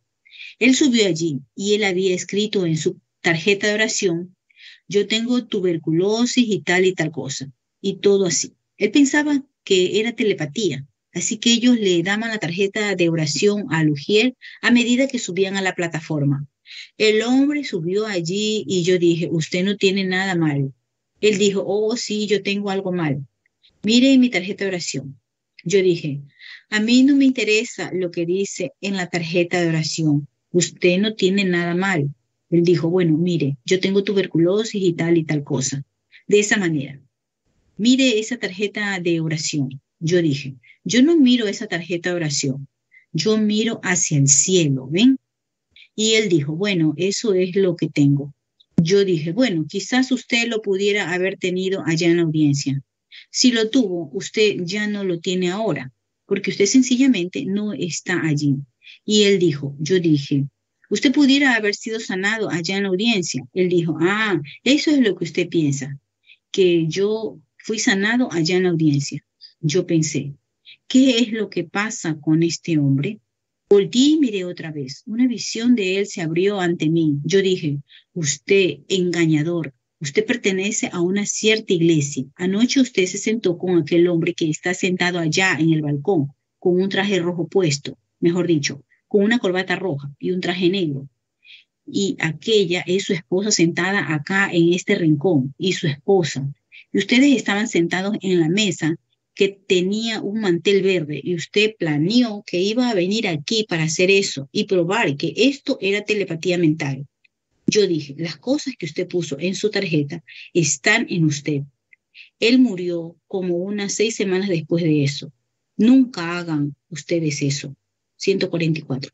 Este hombre, unas semanas después de eso, mejor dicho, unas noches después de eso, estaba sentado allí tratando de hipnotizarme de esa manera. Y yo seguía sintiendo ese espíritu raro. Yo dije, por favor, todos mantengan sus rostros inclinados, sean reverentes. Ustedes me han oído decir eso muchas veces. Yo estoy vigilando un espíritu. ¿Ven ustedes? Y él seguía haciendo eso y haciendo eso. Y luego él se volteó así. Yo dije, ¿por qué el diablo le ha puesto en su corazón hacer eso? Dije, usted entró caminando, pero lo sacarán cargado. Y así fue. Eso es exactamente correcto. Él todavía está paralizado. Eso es correcto. Él se levantó. Él se puso tieso. Casi no podía moverse. Y él ha escrito cartas tras cartas pidiéndome, venga, yo no puedo hacer nada al respecto. Ese es su propio pecado. Él tiene que enmendar eso con Dios. No hay una sola cosa. Yo no pondría mi mano en eso por nada. ¿Ven? 145. ¿Qué de ese hombre aquí en Phoenix? La primera vez que estuve aquí en aquella ocasión, ¿recuerdan aquí en ese lugar aquel que no inclinaba su rostro? Y ellos me lo trajeron docenas de veces en California, sentado allí todo barbudo. Él había sido un oficial aquí en la ciudad, todo barbudo, así, sentado allí haciendo uh, uh, de esa manera, completamente fuera de sí. Un espíritu maligno fue echado fuera de uno y entró en él. Eso es correcto. Fue aquí mismo en Phoenix, en mi primer viaje, correcto, ¿ven? Ustedes tienen que tener cuidado. Nosotros no estamos jugando a la iglesia. Es igual con lo que fue en los días de Gedeón. El tiempo de jugar a la iglesia ha terminado. Tenemos que prepararnos para encontrarnos con Dios. Sí, Señor. Yendo de aquí a allá, firmando su nombre en una tarjeta y uniéndose a una iglesia. Todo eso se acabó. Recuerden que estas cosas pasan de uno a otro. Seguramente que sí. No conozco a la mujer, nunca en mi vida la he visto, hasta donde sé. Si ella, ella está enferma, yo no sé nada al respecto. Si ella quiere que se ore por alguien más, yo no sé nada al respecto. Eso depende de Dios decir eso. Pero si Él lo dice, que ella sea el juez si es correcto o no. ¿Creerán ustedes entonces que la venida de Cristo está cerca y que ese mismo Espíritu Santo, ese mismo Dios que estuvo allá en Sodoma, es el mismo Dios que se está apareciendo aquí en hombres y mujeres esta noche? ¿Creen ustedes eso? Créanlo, créanlo. 147. Miren, yo quiero que ella mire la dirección que está mirando, para que ustedes no miren y piensen que yo estaba adivinando.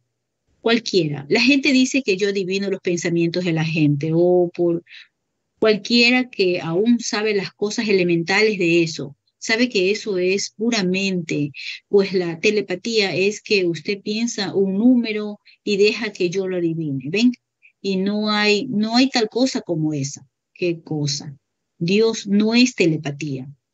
Ellos llamaron a Jesús Belcebú porque él discernía y dijeron que él era un adivinador, un demonio. Él dijo, yo los perdono por eso. Pero algún día el Espíritu Santo vendrá para hacer la misma cosa.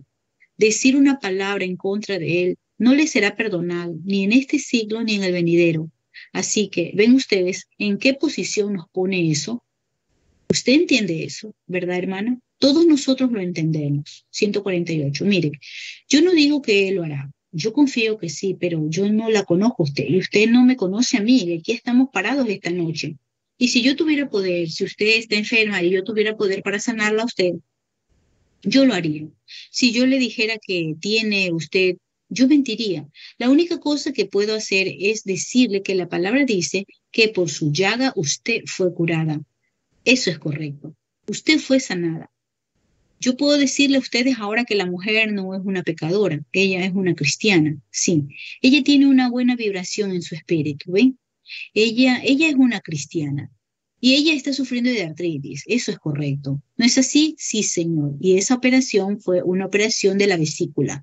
Entonces, cuando usted la tuvo, usted estaba un poquito temerosa de que esa operación tuvo algo que ver con esto. Y usted ha estado toda perturbada desde entonces. Usted ahora tiene muchas complicaciones, eso es correcto. Mire, ¿cree usted que Dios la va a sanar y la va a poner bien? Bájese de la plataforma y diga, gracias Señor, amén. 149.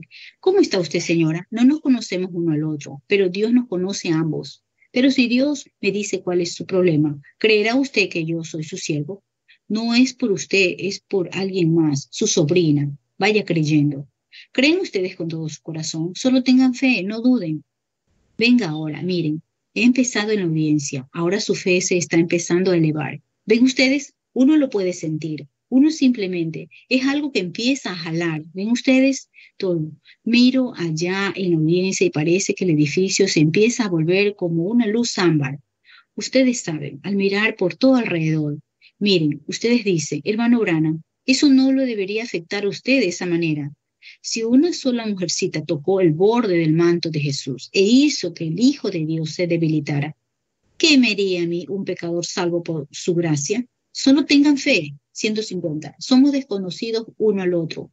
Yo no la conozco, pero si el Señor Jesús me revela cuál es su problema, ¿creerá usted que yo soy su siervo? ¿Y cree usted que lo que yo he dicho es una confirmación de lo que Dios ha prometido?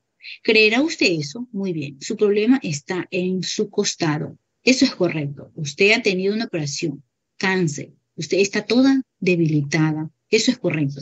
Usted se pregunta qué es lo que está mal, pero usted va a estar bien ahora. Bueno, Dios la bendiga. Mire, si Él le puede decir a usted lo que ha sucedido, ¿fue eso verdad? Bueno, si Él le puede decir a usted que lo que ha sucedido es verdad, entonces lo que Él diga en el futuro es verdad. Amén. Dios le bendiga, hermano. Amén, hermana Dios le bendiga la lectura. Continuamos y finiquitando este glorioso mensaje, no te envío yo. Predicado este mensaje en Fines de Arizona, Estados Unidos, el día 24 de enero del año 1962. Hermana Erika, por favor, en los párrafos 151 al 158.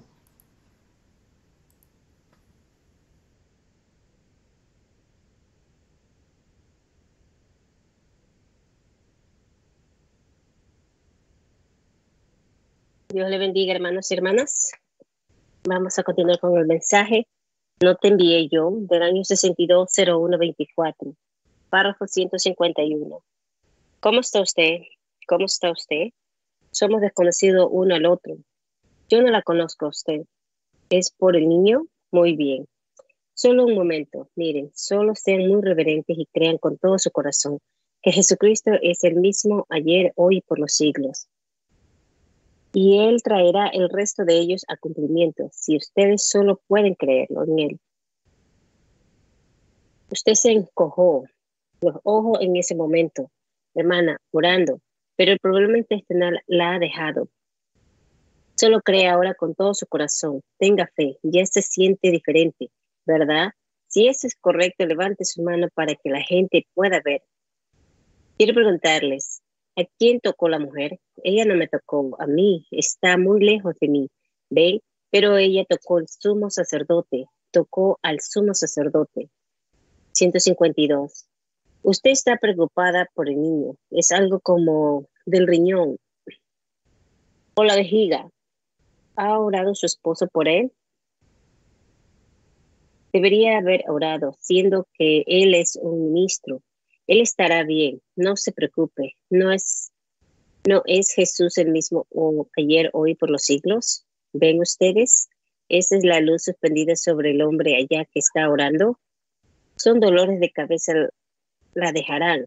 Y usted estará bien, no dude, tenga fe, todo lo dejará. Usted está, estaba orando para que él hiciera eso, ¿no es así? Eso es correcto. Estaba diciendo, Señor Jesús, permite que el hermano Branham me llame. Muy bien. ¿Es correcto eso? Levante su mano. Muy bien. Todo se ha ido. 153. Eso hizo que creyera el hombre que está detrás de usted. Ese problema en sus pies lo dejará también. Hermano, si usted, él también puede sanar el asma, ¿no es así? sanarlo. Muy bien, vaya creyendo en él con todo su corazón. Tengan no dude, solo crea con todo su corazón.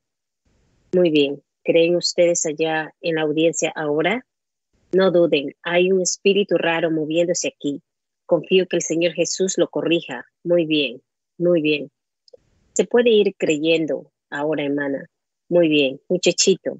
Por él, como dice, sí, se puede ir y eso lo dejará. Él estará bien y sanará. Muy bien.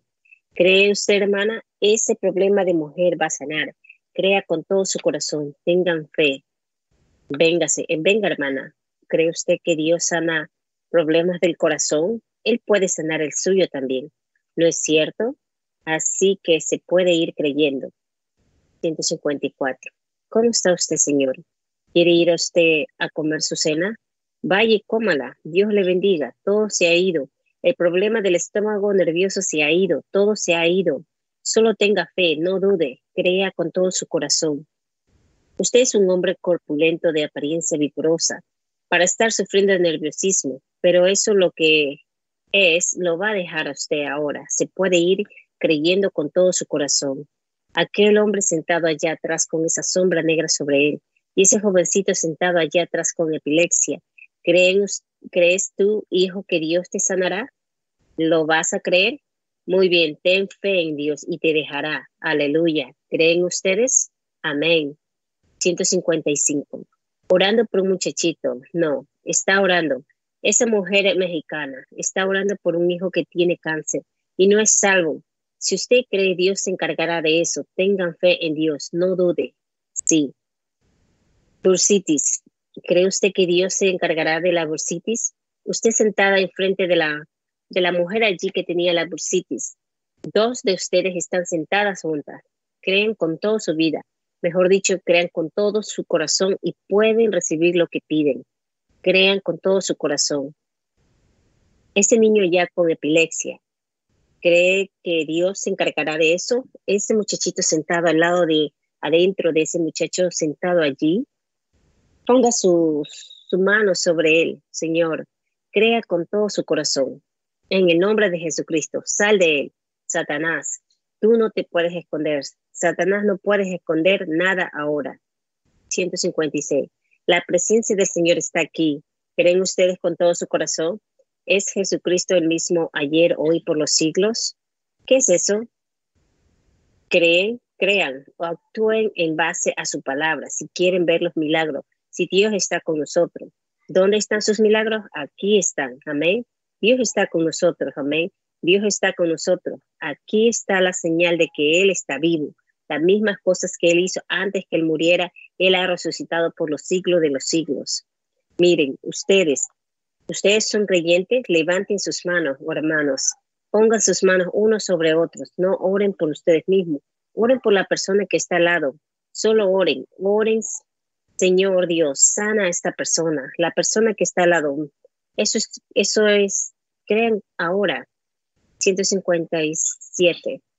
Oh Señor Dios, creador de los cielos y la tierra, en el nombre del Señor Jesucristo, pedimos que el poder de Dios recorra todo este edificio ahora, como un viento recio que sople y llene toda esta casa y llene a estas personas con el Espíritu Santo de poder para que para creer que Dios todavía vive y reina.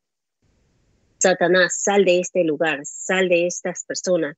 Yo te ordeno en el nombre del Dios viviente. Amén. 158. Permitan que se ancle, permitan que penetre, crean en Él. ¿Cómo puede Él fallar?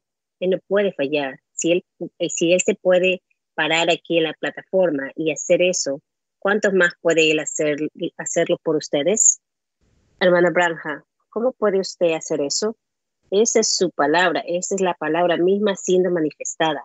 La palabra misma se manifestará en ustedes, si ustedes lo creen. Quiten las nubes de dudas. El sol está brillando. El Hijo, H-I-J-O, está brillando. Su poder está aquí en el edificio para sanar a todos ustedes. Amén. ¿Lo creen con todo su corazón? Entonces, en el nombre de Jesucristo, pónganse de pies y acéptenlo en el nombre de Jesucristo. Levante sus manos y alábenle. Dele alabanza a Él. Muy bien. Dios le bendiga, hermanos. Amén. Amén, hermana Erika. Dios le bendiga la lectura. Mis amados hermanos, hermanas, hemos concluido con este glorioso mensaje titulado No te envío yo predicado en Phoenix, Arizona, Estados Unidos, el día 24 de enero del año 1962. Que quede plasmado en cada uno de vuestros corazones.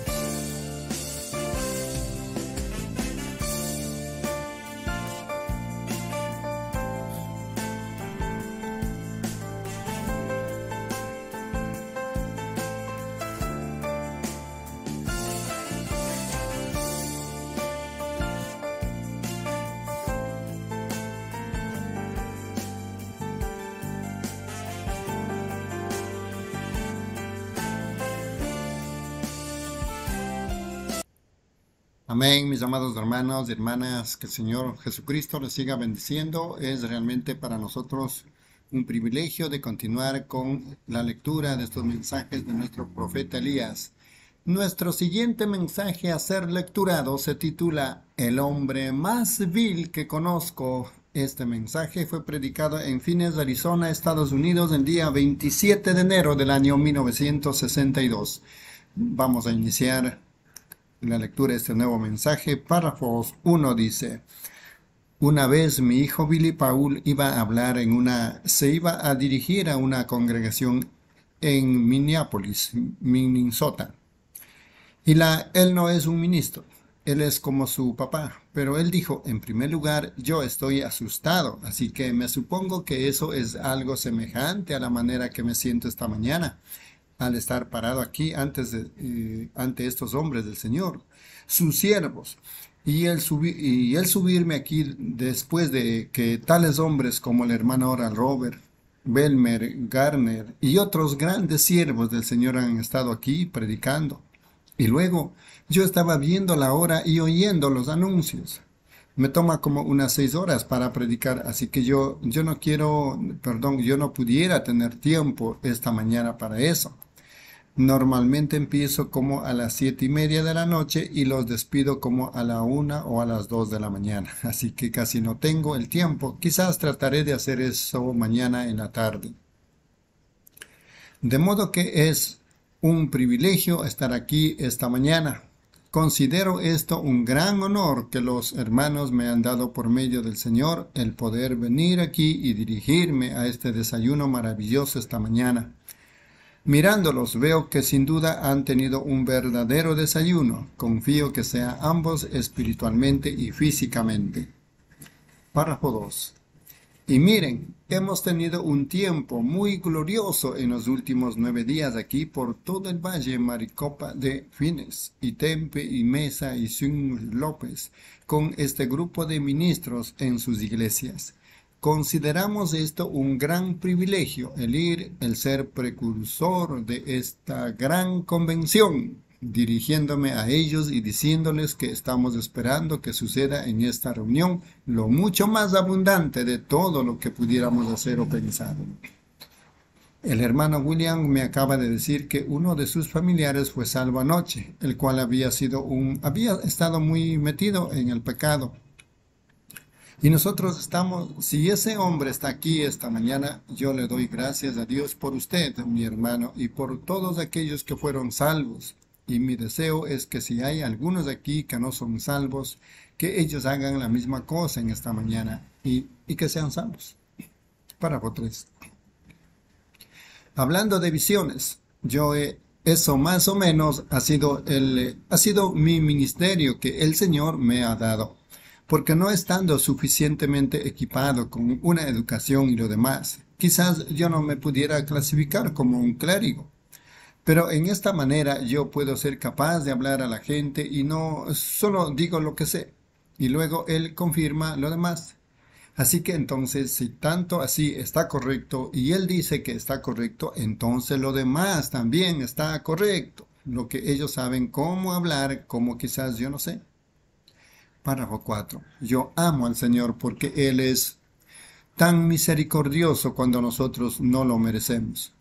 Y sin embargo, Él es tan misericordioso. Eso ha sido una de las maravillas de mi vida y de mi experiencia ha sido el ver que cuando nosotros somos tan indignos y sin embargo Él nos visita de todas maneras.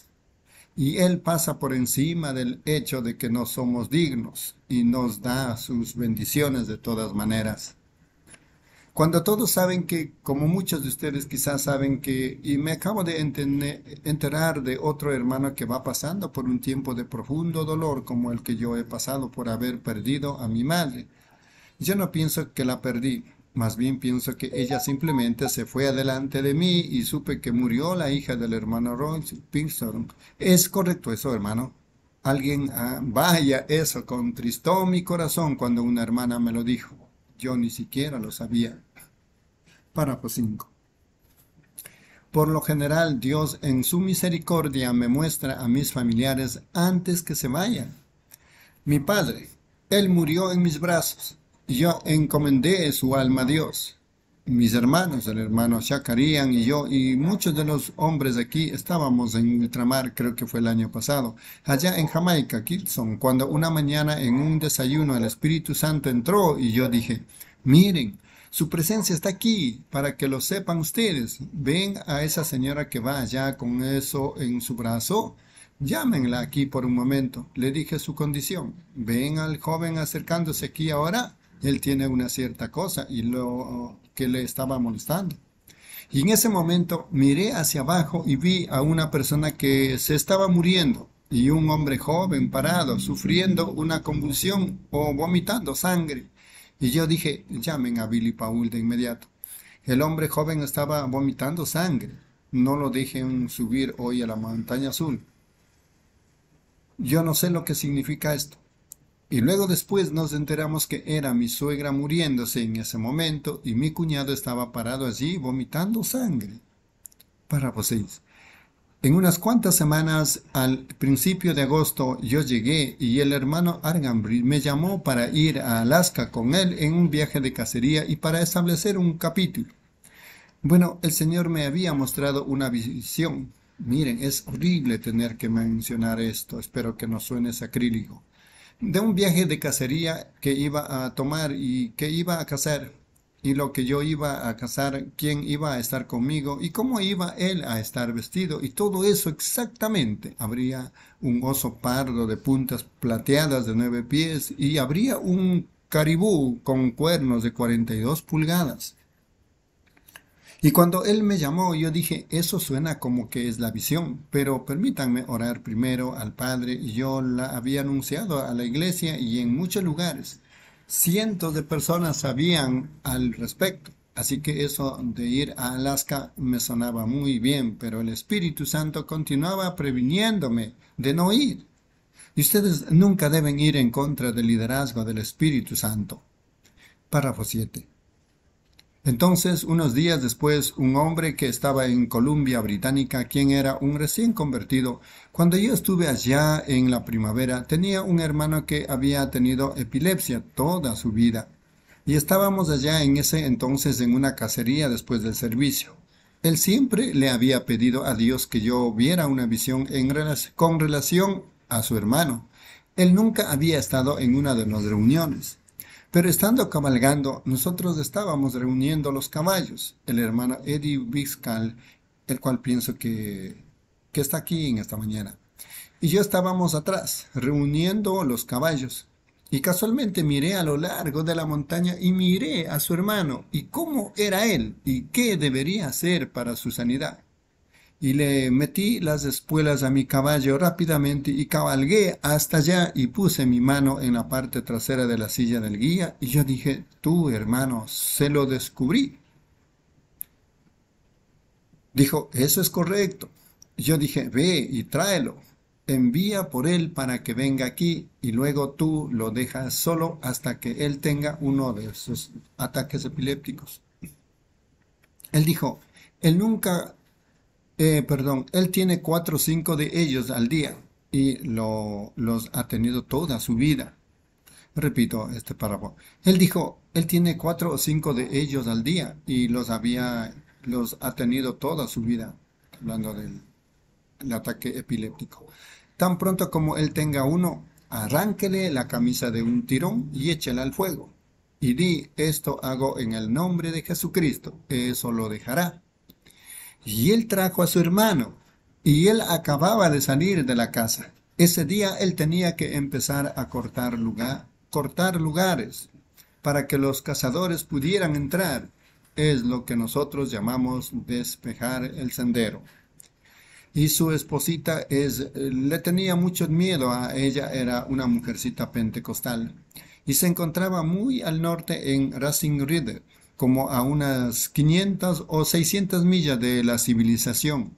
Y la esposita, cuando el muchacho tuvo el primer ataque, ella generalmente era la primera que salía por la ventana, pues ella tenía miedo, pero soltó y cayó a horcajadas sobre él.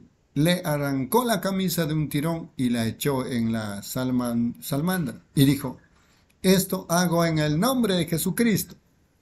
Él nunca ha tenido uno desde ese entonces. Y así que él me escribió una carta y dijo, venga. Para ocho. Bueno, allá para servir tiempo, ahorrar tiempo, mejor dicho. Hay muchos sentados aquí que saben de esto. Fue dicho de antemano, fue exactamente, yo tengo la declaración en mi bolsillo. Un oso pardo de puntas plateadas de nueve pies en el lugar exacto, en el tiempo exacto, también el caribú.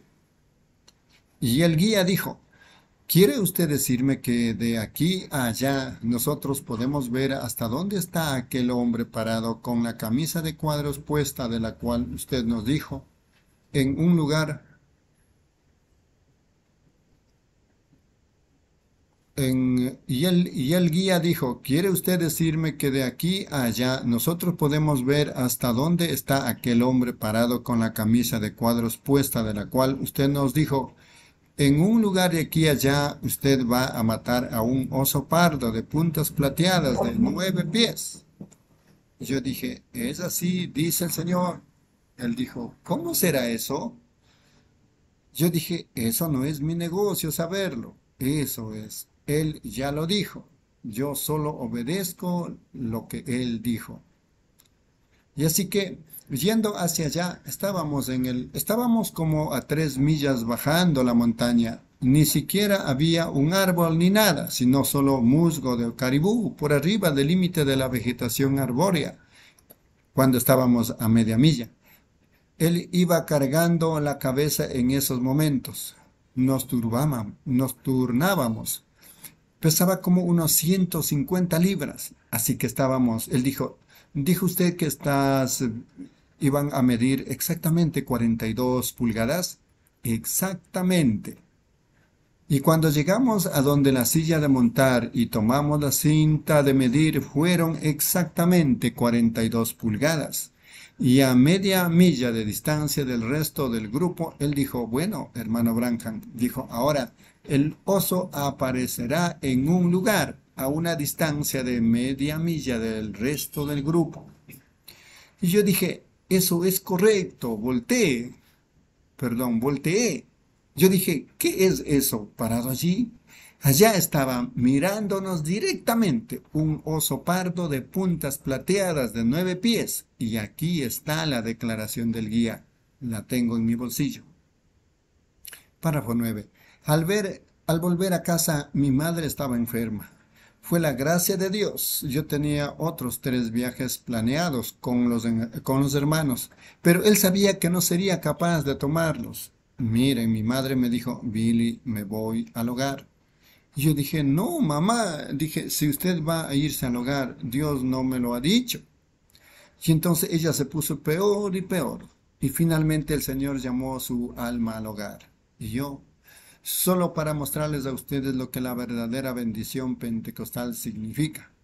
Cuando ella estaba tan débil, yo guié a mi madre Cristo, la bauticé. Y cuando ella estaba tan débil que ya no podía hablar, ella continuaba hablando acerca de la dulzura del Señor. Dijo que ella me vio parado en una visión, un hombre muy anciano, aferrado a la cruz, extendiéndome hacia abajo por ella. Y entonces cuando estaba partiendo, unos momentos antes que partiera, ella ya no podía hablar. Yo dije, mamá, usted ya no puede hablar, pero como hijo suyo yo le quiero preguntar, ¿es Jesús tan dulce para usted ahora como lo fue cuando usted lo recibió a él en la forma del Espíritu Santo? Si usted se está muriendo ahora, mamá, usted no puede vivir más de cinco minutos. Y si Jesús es tan dulce para usted, aunque usted no pueda hablar, parpadee muy rápido. Y ella parpadeó y las lágrimas le, rodaron por, las mejillas. Algo como un vientecito entró en el cuarto y su preciosa alma fue llevada al hogar. Párrafo 10. Yendo a casa le pregunté al Señor, ¿por qué? ¿Por qué Él no me lo mostró? ¿Acaso sería porque con mis otros familiares yo estaba de viaje en diferentes lugares? Y entonces agarré la Biblia, así dije, Padre, la señora Dómico, o ella quizás esté en esta reunión, ella asiste a todas, ella acaba de, acababa de regalarme una Biblia de letras rojas. Yo no creo en tomar la palabra de Dios y hacerle una oiga. Pero yo estaba tan quebrantado recogiendo su ropa ya en el hospital y ella era una persona amorosa. Abrí la Biblia y dije, en alguna parte aquí tú me puedes consolar. Y el versículo era, ella no está muerta, sino que duerme. Así que a la mañana siguiente, como a las nueve, mientras estaba sentado en la habitación llorando, nos estábamos preparando para ir allá para ver cómo había sido tendida. Se abrió una visión ante mí, yo vi grandes multitudes de niños inválidos acostados juntos, y yo estaba cantando una alabanza. Traedlos. Y en el lado, el, el lugar era tan grande que estaba inclinado de esta manera, estaba elevado en la parte de atrás para que la gente de atrás pudiera ver hasta enfrente.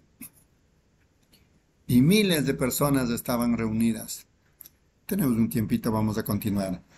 Párrafo 11. Y yo vi a una mujer de renombre que entró, aunque ella estaba vestida a la manera antigua, con una falda larga y las cositas alrededor del cuello y un sombrero grande ladeado y mucho cabello compuesto hacia arriba por detrás. Así que yo la vi caminando, atravesando el edificio y, o mejor dicho, por el lugar. Este no era un edificio, era afuera. Y allí había un palco a cada lado como en, donde las celebridades se sientan.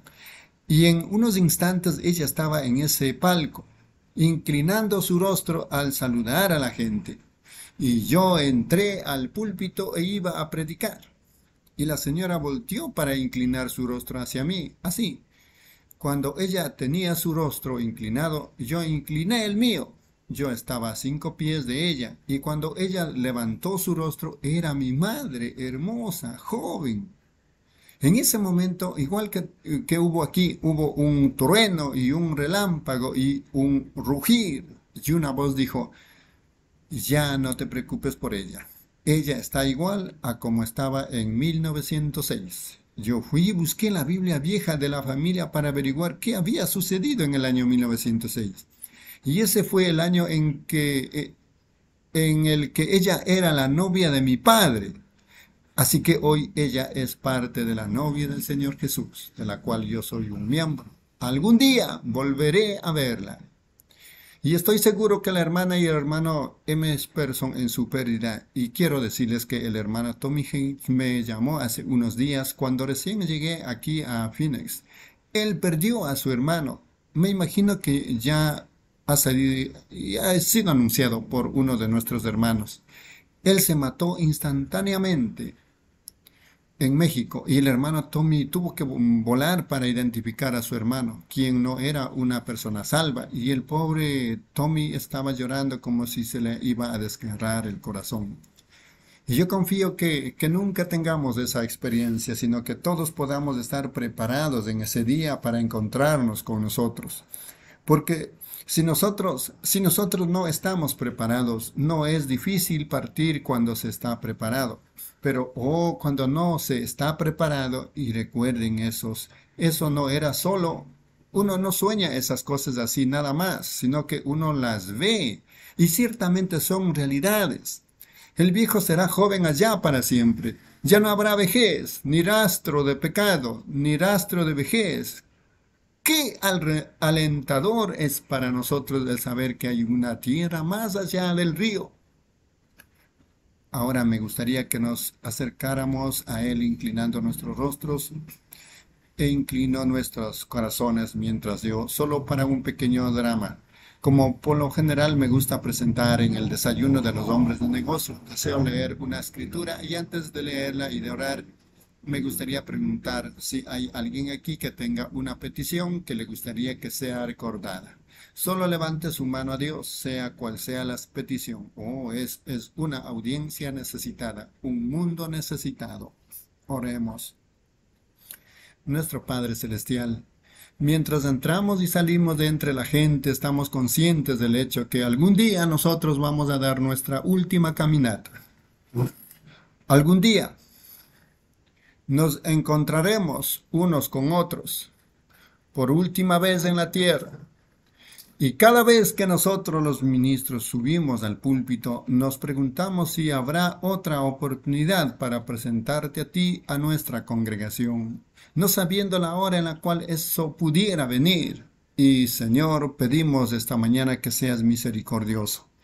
Y mientras leo tu bendita palabra, te pido que la simiente caiga en los corazones de las personas, para que ellos la reciban.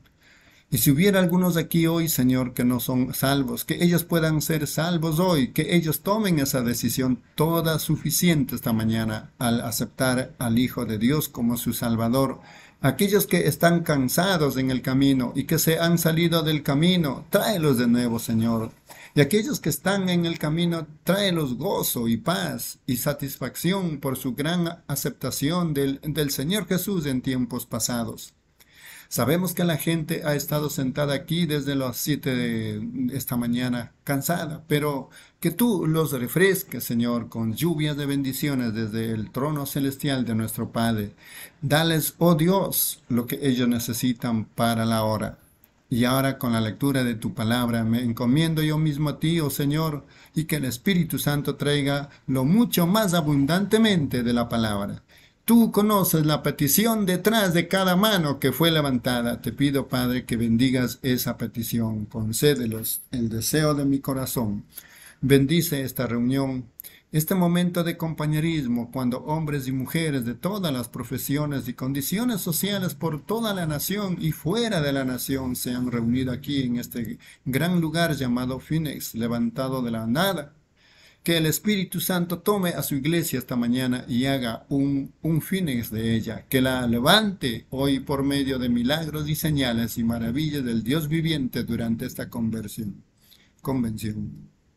Todos los que sean bautizados esta tarde ya en esa piscina o en donde quiera que sea, que el Espíritu Santo se mueva sobre las aguas y tome control de la persona a medida que ellos salen pues sabemos que la comisión nos es dada por medio de la palabra de Dios que no puede fallar.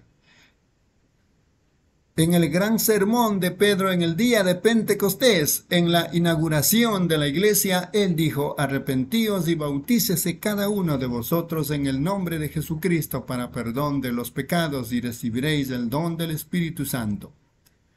porque para vosotros es la promesa, y para vuestros hijos y para todos los que estén, están lejos, para cuantos el Señor nuestro Dios llamare, Señor, tú todavía estás llamando hoy, y sabemos que el Espíritu Santo descenderá en este valle y sobre esta agua esta tarde y le concederá a esa gente los deseos de su corazón. Séllalos dentro del reino de Dios, concédelo, Padre. Bendice esta convención Bendice a cada hombre, joven o jovencita que tenga una palabra que decir, que sea fructífera para el resto de nosotros. Lo pedimos en el nombre de Jesús. Amén. Amén, hermanos y hermanas. Dios le bendiga a cada uno de vosotros. Recordando que hemos iniciado un nuevo mensaje titulado el hombre más vil que conozco, predicado en Phoenix, Arizona, Estados Unidos, del día 27 de enero del año 1962. Si Dios permite, el día de mañana continuaremos en los párrafos 18. Nos despedimos agradeciendo a Dios por este maravilloso tiempo. Muchas gracias, Padre Eterno, por este privilegio, Señor, que tú nos das. Esta comida, el alimento espiritual para vuestras almas, Padre alimento que nos sacará de este espacio llamado tiempo donde tú nos ubicaste, Señor. Tú antes de la fundación del mundo, oh Padre amado, tú hiciste tu programa. Pasaron estos seis mil años, han pasado las siete fiestas, están pasando las siete fiestas, Señor. Los primeros cuatro mil años, Pascuas, panes sin levadura y primicia, ya sucedió, oh Padre amado, porque tenía que venir alguien a morir como lo dice Pascuas, panes sin levadura, muerte, entierro y resurrección, significando tipo y sombra de los cuatro mil años, del original que vino hace dos mil años en el tiempo de Jesús.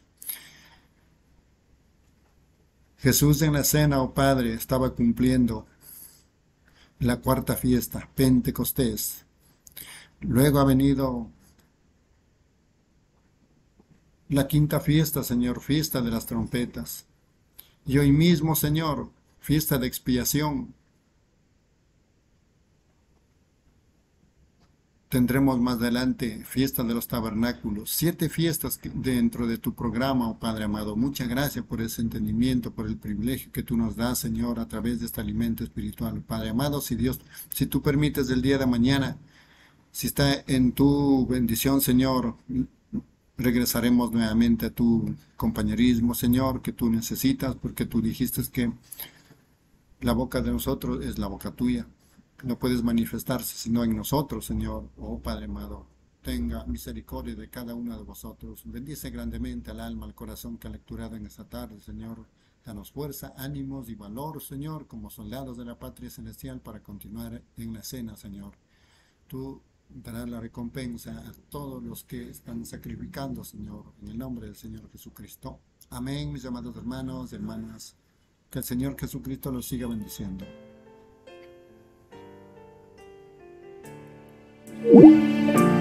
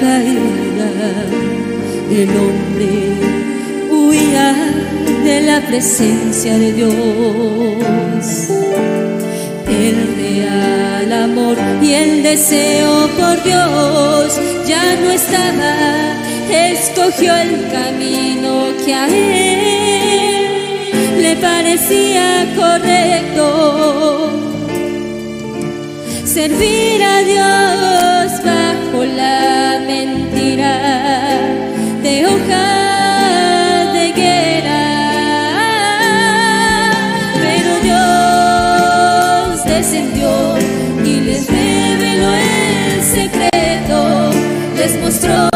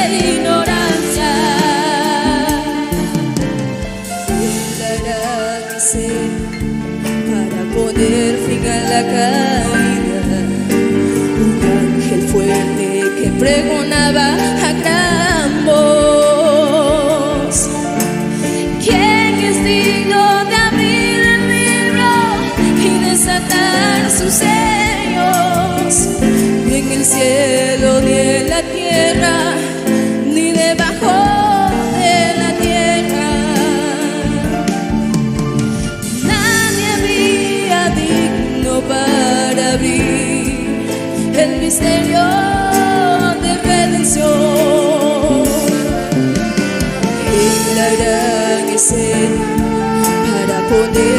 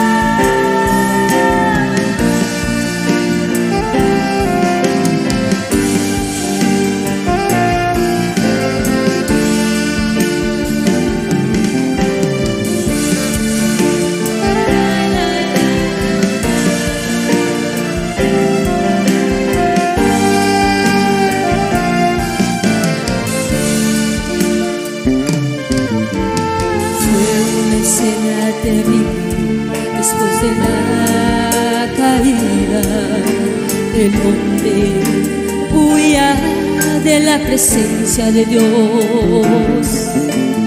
El real amor y el deseo por Dios ya no estaba, escogió el camino que a él le parecía correcto. Servir a Dios bajo la mentira de hojas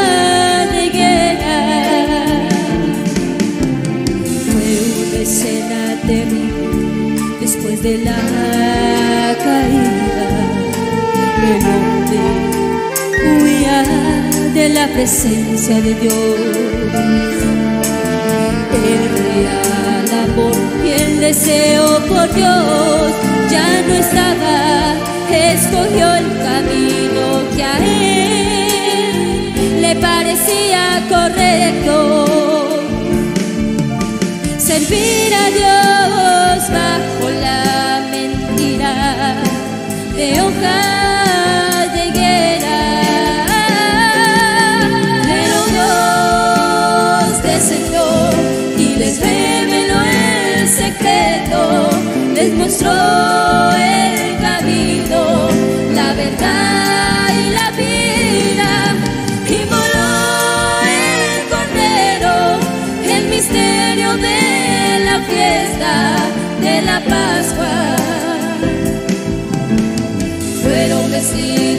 mudar.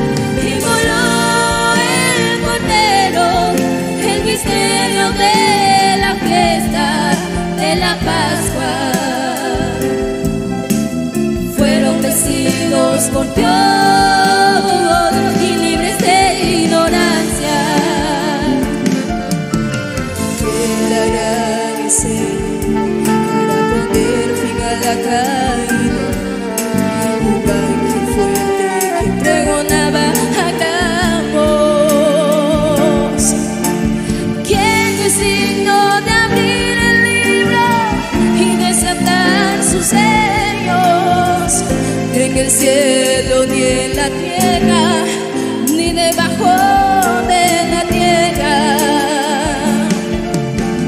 nadie había digno para abrir el misterio de redención.